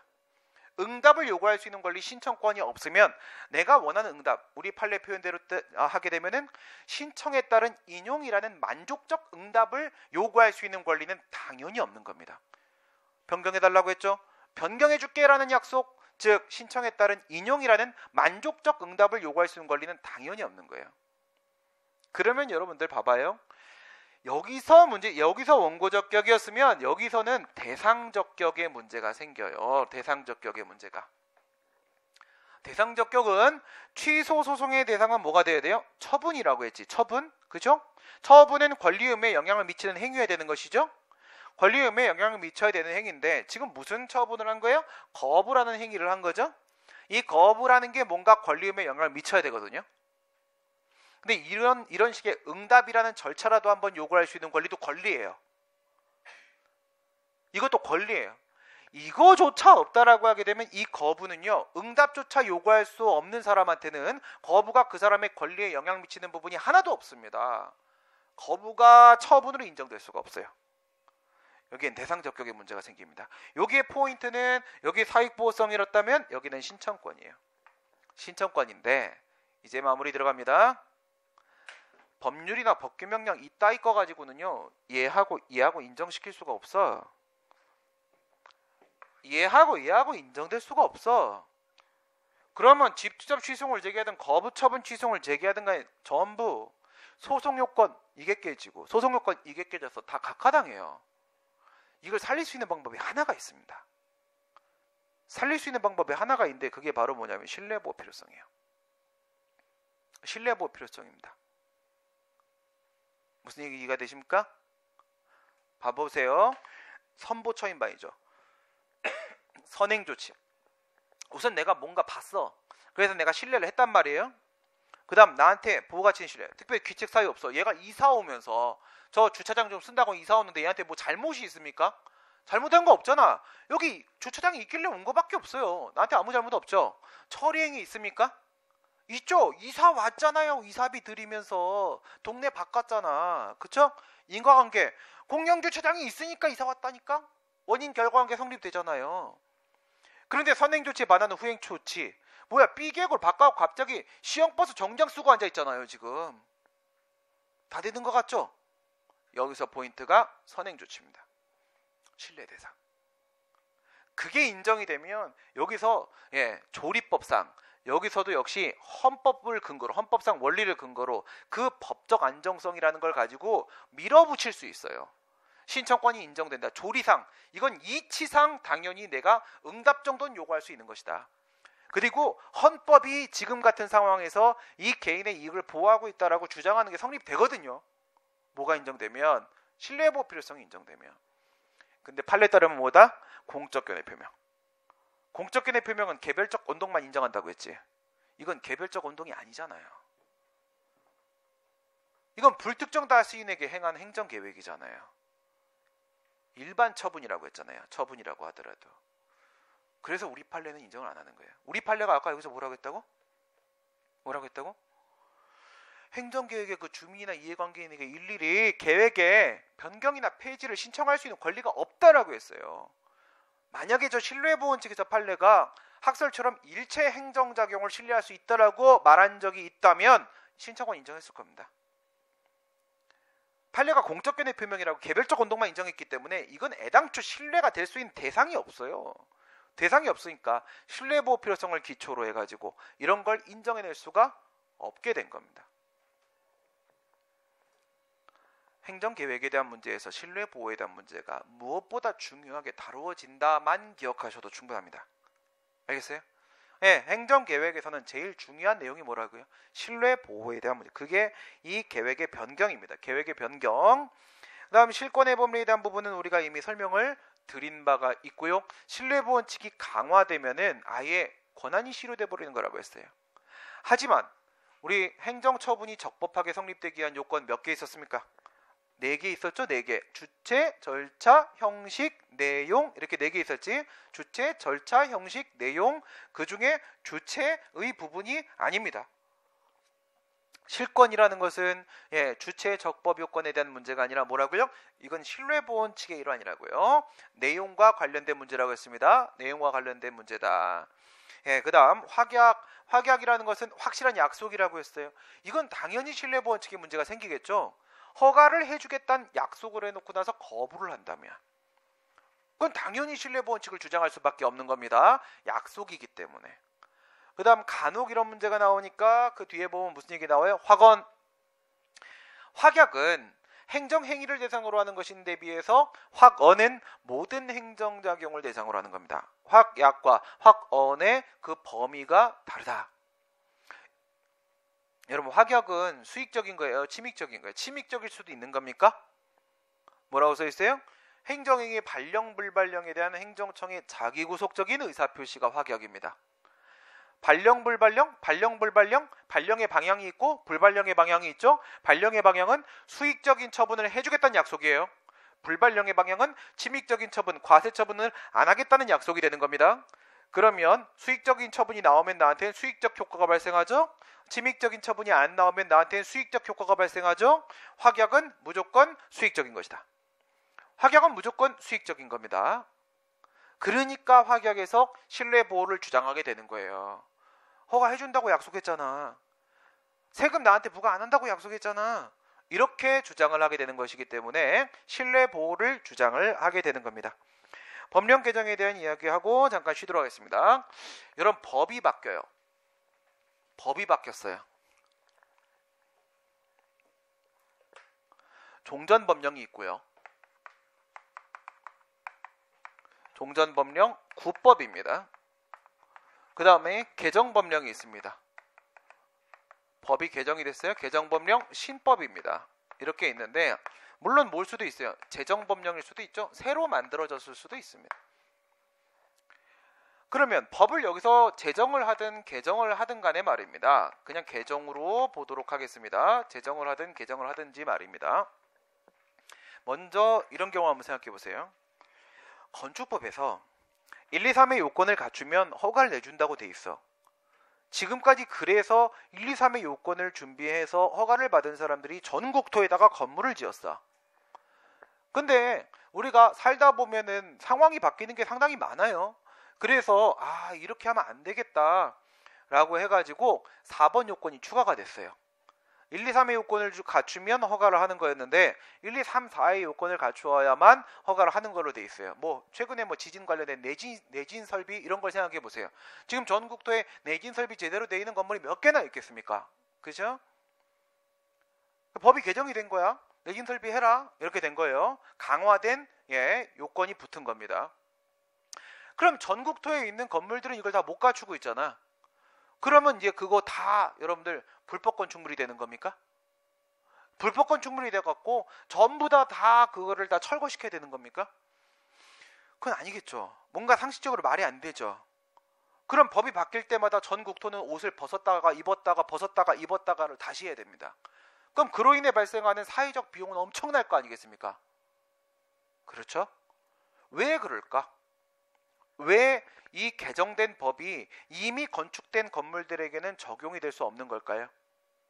이건 이미 완성된 법률 관계이기 때문에 그렇습니다. 이미 완성된 법률 관계이기 때문에 이미 건축 허가를 받아놓은 것들이기 때문에 그래요. 처분이라는 것은 권리의무에 영향을 미치는 거라고 했죠. 권리의무에 영향을 미치는 처분이 나왔잖아. 그러면 상대방한테 뭘 만들어냈어? 권리의무 관계, 즉 법률 관계를 만들어냈죠. 형성해냈죠. 그리고 그때 완성되는 겁니다. 그때 완성되는 거예요. 법률 관계는 이미 만들어진 겁니다.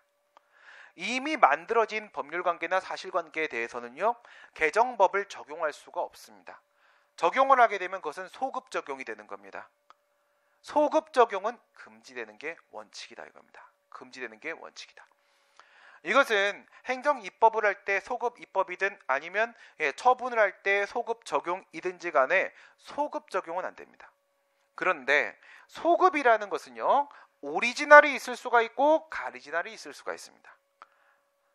항상 우리가 법에서 얘기할 때 오리지널을 진정이라고 말을 해요. 가리지널, 짜가, 짜가를 우리가 항상 부진정이라고 말합니다. 사실은 부진정은 그게 아닌 겁니다. 그냥 진정과 비교를 하기 위해서 우리가 설정하는 개념밖에 없는 거예요. 지금 방금 뭐라고 했냐면 얘는요 법률 관계 사실 관계가 이미 완성이 되었다.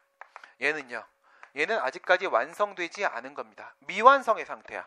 이런 걸 우리가 아직까지 법률 관계가 계속되고 있다라고 얘기를 합니다. 계속되고 있다. 여러분 이런 거 한번 생각해 봅시다. 내가 건축허가를 신청을 했거든요. 나 아직 건축허가 받은 거 아니거든. 근데 건축허가를 신청을 했는데 분명히 내가 신청을 할 때는 1, 2, 3의 요건만 갖추면 된다고 돼 있었어요. 근데 아직까지 그에 따른 행정부의 판단이 나오기 전에 어떤 결정이 나오기 전에 곧 중간에 법이 바뀐 거야. 중간에 법이 바뀌어 시행이 됐는데 방금 얘기한 대로 4번 요건이 들어온 겁니다. 내 진술을 갖춰라. 라고 되어 있는 거. 나 그건 못 갖췄어요. 그러면 내가 구법에 따라 1, 2, 3의 요건은 갖췄으니까 허가를 내줘야 되는 겁니까? 아니면 신법에 따라 내 진술을 못 갖췄으니까 4번 요건 흠결로 거부를 해야 되는 겁니까? 뭘 해야 되겠어요, 여기서? 그렇죠. 거부를 해야 됩니다. 거부를 해야 됩니다. 이런 걸 우리가 신법 우선의 원칙이라고 합니다. 신법 우선의 원칙. 구법과 신법이 있으면 뭘 적용한다고요? 신법을 적용한다고요. 신법을 적용한다면 이것도 소급 아닙니까?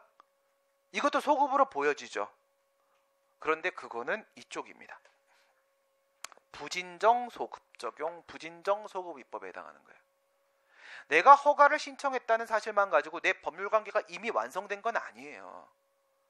이건 허가가 나올 수도 있고 거부가 나올 수도 있고 아직 미완성의 상태란 말이에요. 아직 모르는 상태야. 뭐가 나와야만 법률 관계가 완성되는 거라고? 처분이 나와야만 법률 관계가 완성되는 거라고요. 처분이 나와야만. 아직까지 허가 처분이 나오기 전이기 때문에 미완성의 상태입니다. 그러면 이 진정에서 부진정에서 얘는 뭐가 안 되고요? 소급 입법 소급 적용 소급이 안 돼요. 얘는 뭐가 되고요? 예, 신법을 적용시킨다는 것은 소급을 허용하겠다는 거잖아요, 지금. 개정법을 적용하겠다는 거잖아, 소급해서. 얘는 소급이 돼요. 무슨 얘기를 하고 있는 거냐면 결국은 모든 게 이익 형량의 산물이라고 했죠. 여기서는 두 가지를 비교를 하셔야 되는 겁니다. 첫 번째 공익이 있고요. 그 다음에 두 번째 사익이 이렇게 있어요. 지금 제가 설명드리는 내용 그대로 기억을 하셔야 됩니다. 그래야만 문제가 풀립니다.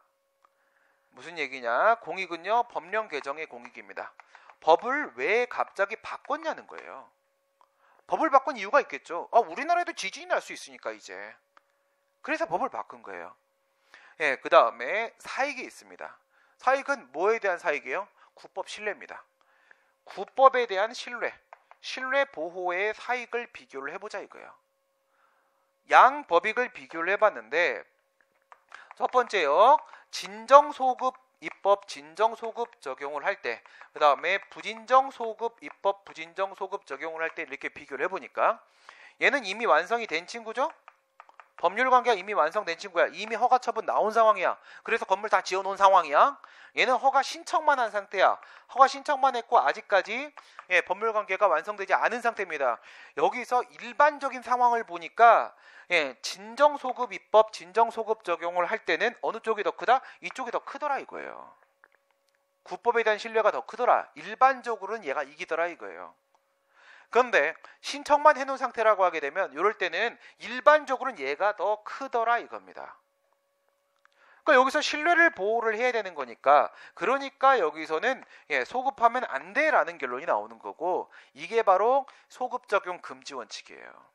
소급 적용 금지 원칙.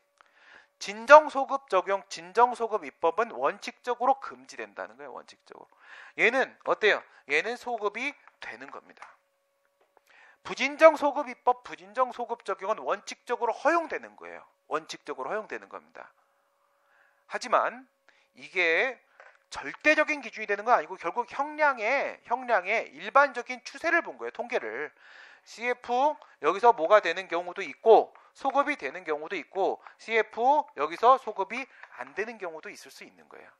원칙은 그렇다는 겁니다. 그래서 여기서 진정 소급 금지 원칙, 부진정 소급 허용이 원칙이에요. 금지가 원칙, 허용이 원칙 이렇게 되고 여기서는 이제 예외가 발생을 합니다. 예외가 예외를 한번 볼까요? 예외. 진정 법률 관계가 이미 완성된 건데 소급이 허용될 수 있는 상황은 뭐냐면 가장 기본적으로는요. 개정 법령이 신법이 국민한테 더 유리해. 문제 없죠. 국민한테 훨씬 더 유리한 상황이에요. 지금처럼 건축의 문제를 보지 말고 보조금에 대한 문제로 한번 생각을 해보세요. 예, 보조금을 지급하는데 국민들한테 보조금을 지급하는데 뭐 예를 들어서 애, 애기를 낳으면은 예, 지원금을 준다. 지원금을 원래 100만 원 주기로 했는데 200만 원 주기로 바꿨어. 그럼 이거 소급해도 돼요? 소급한다고 문제될 거 아무것도 없지. 그렇죠? 유리한 경우입니다. 그다음 두 번째, 예, 구법에 따른 내용이 불확실해. 정확하게 무슨 내용인지 국민들이 몰라요. 불확실한 경우라고 하게 되면 당연히 소급한다고 해서 법적 안정성, 신뢰 보호에 대한 문제가 없잖아요. 뭔지를 모르는데 어떻게 신뢰를 합니까? 그렇죠? 이럴 때는 가능하다는 거예요. 그럼 얘는 어떨까? 이런 경우에는 예, 구법에 대한 국민의 신뢰가 훨씬 커져야 되는 건데 신뢰가 훨씬 커지는 경우가 바로 우리 판례식으로 치게 되면 정당한 이유 없이 처리 지연했을 때 정당한 이유 없이 처리를 지연했다. 무슨 말이냐면 허가를 신청했다고 했죠. 건축 허가를 신청을 했어요. 근데 정상적인 처리 기간 뭐 13일이었다. 13일에 따르게 되면 나는 국법 적용받는 사람입니다. 국법 적용받는 사람인데 정당한 이유 없이 처리를 지연을 하다가 보니까 늦어져서 한 달이 넘게 걸린 거야. 허가 나오는데. 근데 공교롭게 그 사이에 법이 개정된 거예요. 그러면 난 정상적인 상황이라고 하게 되면 국법에 따라 허가를 받을 수 있었던 사람인 거잖아. 그럼 이 사람의 국법에 대한 신뢰는 예, 훨씬 더 커진다는 겁니다. 그럴 때는 정상적으로 그냥 국법을 적용을 시킬 수도 있다. 예외적으로. 무슨 말인지 알겠어요? 예. 여기서 학생들이 가장 잘 이해를 하는 방법은 이런 거예요. 예를 들어 가지고 예전에 제가 구청장 선거나 이런 데서 기획실에서 정책을 짜고 그렇게 하는데 우리 영감이 요번에 떨어졌어요. 지난번에 두 번 붙었는데 관선 한 번에다가 민선 두 번을 했고 민선 마지막 한 번 더 하려고 했거든. 더 하려고 했는데 워낙에 워낙에 워낙에 일을 잘했어. 그러니까 내가 도와주러 갔지. 예, 워낙에 일을 잘해가지고 요번에 당이 된다고 생각을 했어요. 근데 우리 당 내부적으로 문제가 생겨갖고요. 후보가 둘이 됐어요. 후보가 둘이 돼갖고 내부적으로 이제 그 경선을 하는데 부정 경선이 이루어졌고요. 소송을 했는데 물론 우리가 이겼죠. 근데 이미 선거 끝났거든. 그러면 우리 당 쪽에서는 후보가 두 명이 나가야 되잖아요. 부정 경선을 해가지고 딴 놈이 됐어요. 둘 다 우리 학교 선배였고 애매했어요 중간에서. 근데 딴 놈이 나왔어요. 놈이라고 합니다. 딴 놈이 나왔어요. 그럼 우리는 뭐야? 안 나갈 수 없거든요. 그래서 당을 나왔어요. 무소속으로 나갔습니다. 원래 기본적으로 가지고 있던 어, 지지율이 약 45에서 55 사이예요. 이건 무조건 이기거든요. 근데 반대편 정당에서는 항상 30 초반이었습니다. 30초. 우린 무조건 이기는 거였어요. 근데 우리 둘이 잘라나가니까 당의 지원을 못 받는 상태에서 움직였잖아요. 그러다 보니까 28인가 29에서 멈췄어요. 우리 쪽 당에서 나간 사람은 25쯤에서 멈췄고요. 둘 합치면 50은 넘어가죠. 이쪽은 31일로 당선이 돼요. 근데 뭐 어떻게 정치 더 하겠습니까? 그만뒀다고 쳐보세요. 그만뒀는데 거기 토박이란 말이야. 토박이에요. 그래서 이제 거기서 영업을 좀 하려고 뭐 어? 그래 뭐 지금까지 나랑 함께 해줬던 주민들과 함께 뭐 이렇게 이런 거 좀 해야겠다 해갖고 뭐 허가 신청을 하나 했다고 쳐보세요. 그러면 반대편 후보가 지금 구청장이 돼 있지 않습니까? 허가 내줄까요? 신청해 봤거든. 안 내줘요. 그냥 불법적으로 안 내줍니다. 법을 정면 돌파합니다. 왜냐하면 거기서 우리가 뭐 장사 같은 걸 해버리게 되면은 또 우리가 거기서 또 지지를 또 지지 세력을 만들잖아요. 지지 기반을 아예 쫓아내고 싶은 거예요. 결국은 뭐 그때 비서실장 했던 형님이 지금 거기 구청장으로 다시 당선이 돼서 우리가 다시 원복을 하긴 했지만 거기서 다시 두 번을 그쪽에서 당선이 됐어요. 이런 경우가 있죠. 이거 뭐 고의적으로 처리를 지연하는 거예요. 가능합니까? 가능해요. 지방자치단체장이 조례안을요 지방의회에다가 보내요. 그때 지방의회 쪽도 그쪽 당이 거의 장악을 했거든요. 이쪽에서 조례 개정을 보내고 조례도 법입니다. 개정을 보내고 저쪽에서 통과시켜서 오는데 이쪽에서 거부권 행사도 안 할 거 아니겠습니까? 자기가 보낸 거니까 그럼 조금 있으면 법이 개정될 걸 예상하고 있잖아 지금. 그죠? 예상을 하고 있잖아. 그러면 어떻게 하면 돼요? 허가 신청에 대한 처리를 계속 지연시키면 되죠. 계속 지연시키다가 조례가 통과가 되는 순간 어 법이 바뀌었네 요건이 하나 강화됐어 넌 안 되겠다 거부를 해볼 수 있잖아. 말이 돼요 안 돼요? 말이 안 되는 거죠. 이건 권력남용입니다. 그렇죠 그래서 우리 판례가 얘기하는 게 그거예요. 고의적으로 처리를 지연하는 등 정당한 이유 없이 처리를 지연하다가 법이 개정된 경우라고 한다면 이거는 기존에 있었던 구법에 대한 국민의 신뢰가 훨씬 더 크다고 봐야 되는 것이기 때문에 이럴 때는 예외적으로 구법을 적용시킬 수도 있다는 겁니다. 어떨 때? 부진정 소급 적용의 상황임에도 불구하고 소급 적용을 금지시켜 버린다는 거예요. 여기서 기억해야 될 건 뭐냐? 결국 모든 문제는 신뢰보에서 이익 형량의 문제다. 법은 이론이라는 것도 결국은 다 이익 형량을 이런 경우에는 진정 소급할 때는 기본 보통 이쪽이 크더라 신뢰보호가. 그 다음에 부진정일 때는 아직까지 완성되지 않은 법률 관계에서 보통 예, 이쪽이 더 크더라. 이걸 원칙으로 삼아서 이론으로 설명하고 판례가 판시하는 거예요. 그러면서 판례가 항상 뒤에다가 이런 말을 뒤에다가 흘려요. 예외적인 상황은 이런 경우가 있을 수도 있다. 이겁니다. 그럼 여러분들한테는 어디가 문제가 출제돼? 다 출제돼. 원칙적으로 어떻게 되냐? 그리고 이게 예외적으로 되는 경우가 있냐 없냐? 있다면 어떤 경우가 있냐? 원칙과 예외를 모두 다 질문을 하게 돼 있다. 네. 여기까지 하시고요. 잠깐 쉬었다가 네. 잠깐 어, 오래 해버렸어요. 어떻게 해요? 그죠? 많이 힘드셨구나. 네, 잠시 쉬었다가 어, 15분 휴식하시고요. 네, 35분에 다시 시작을 하도록 하겠습니다. 잠깐 쉬었다 가겠습니다.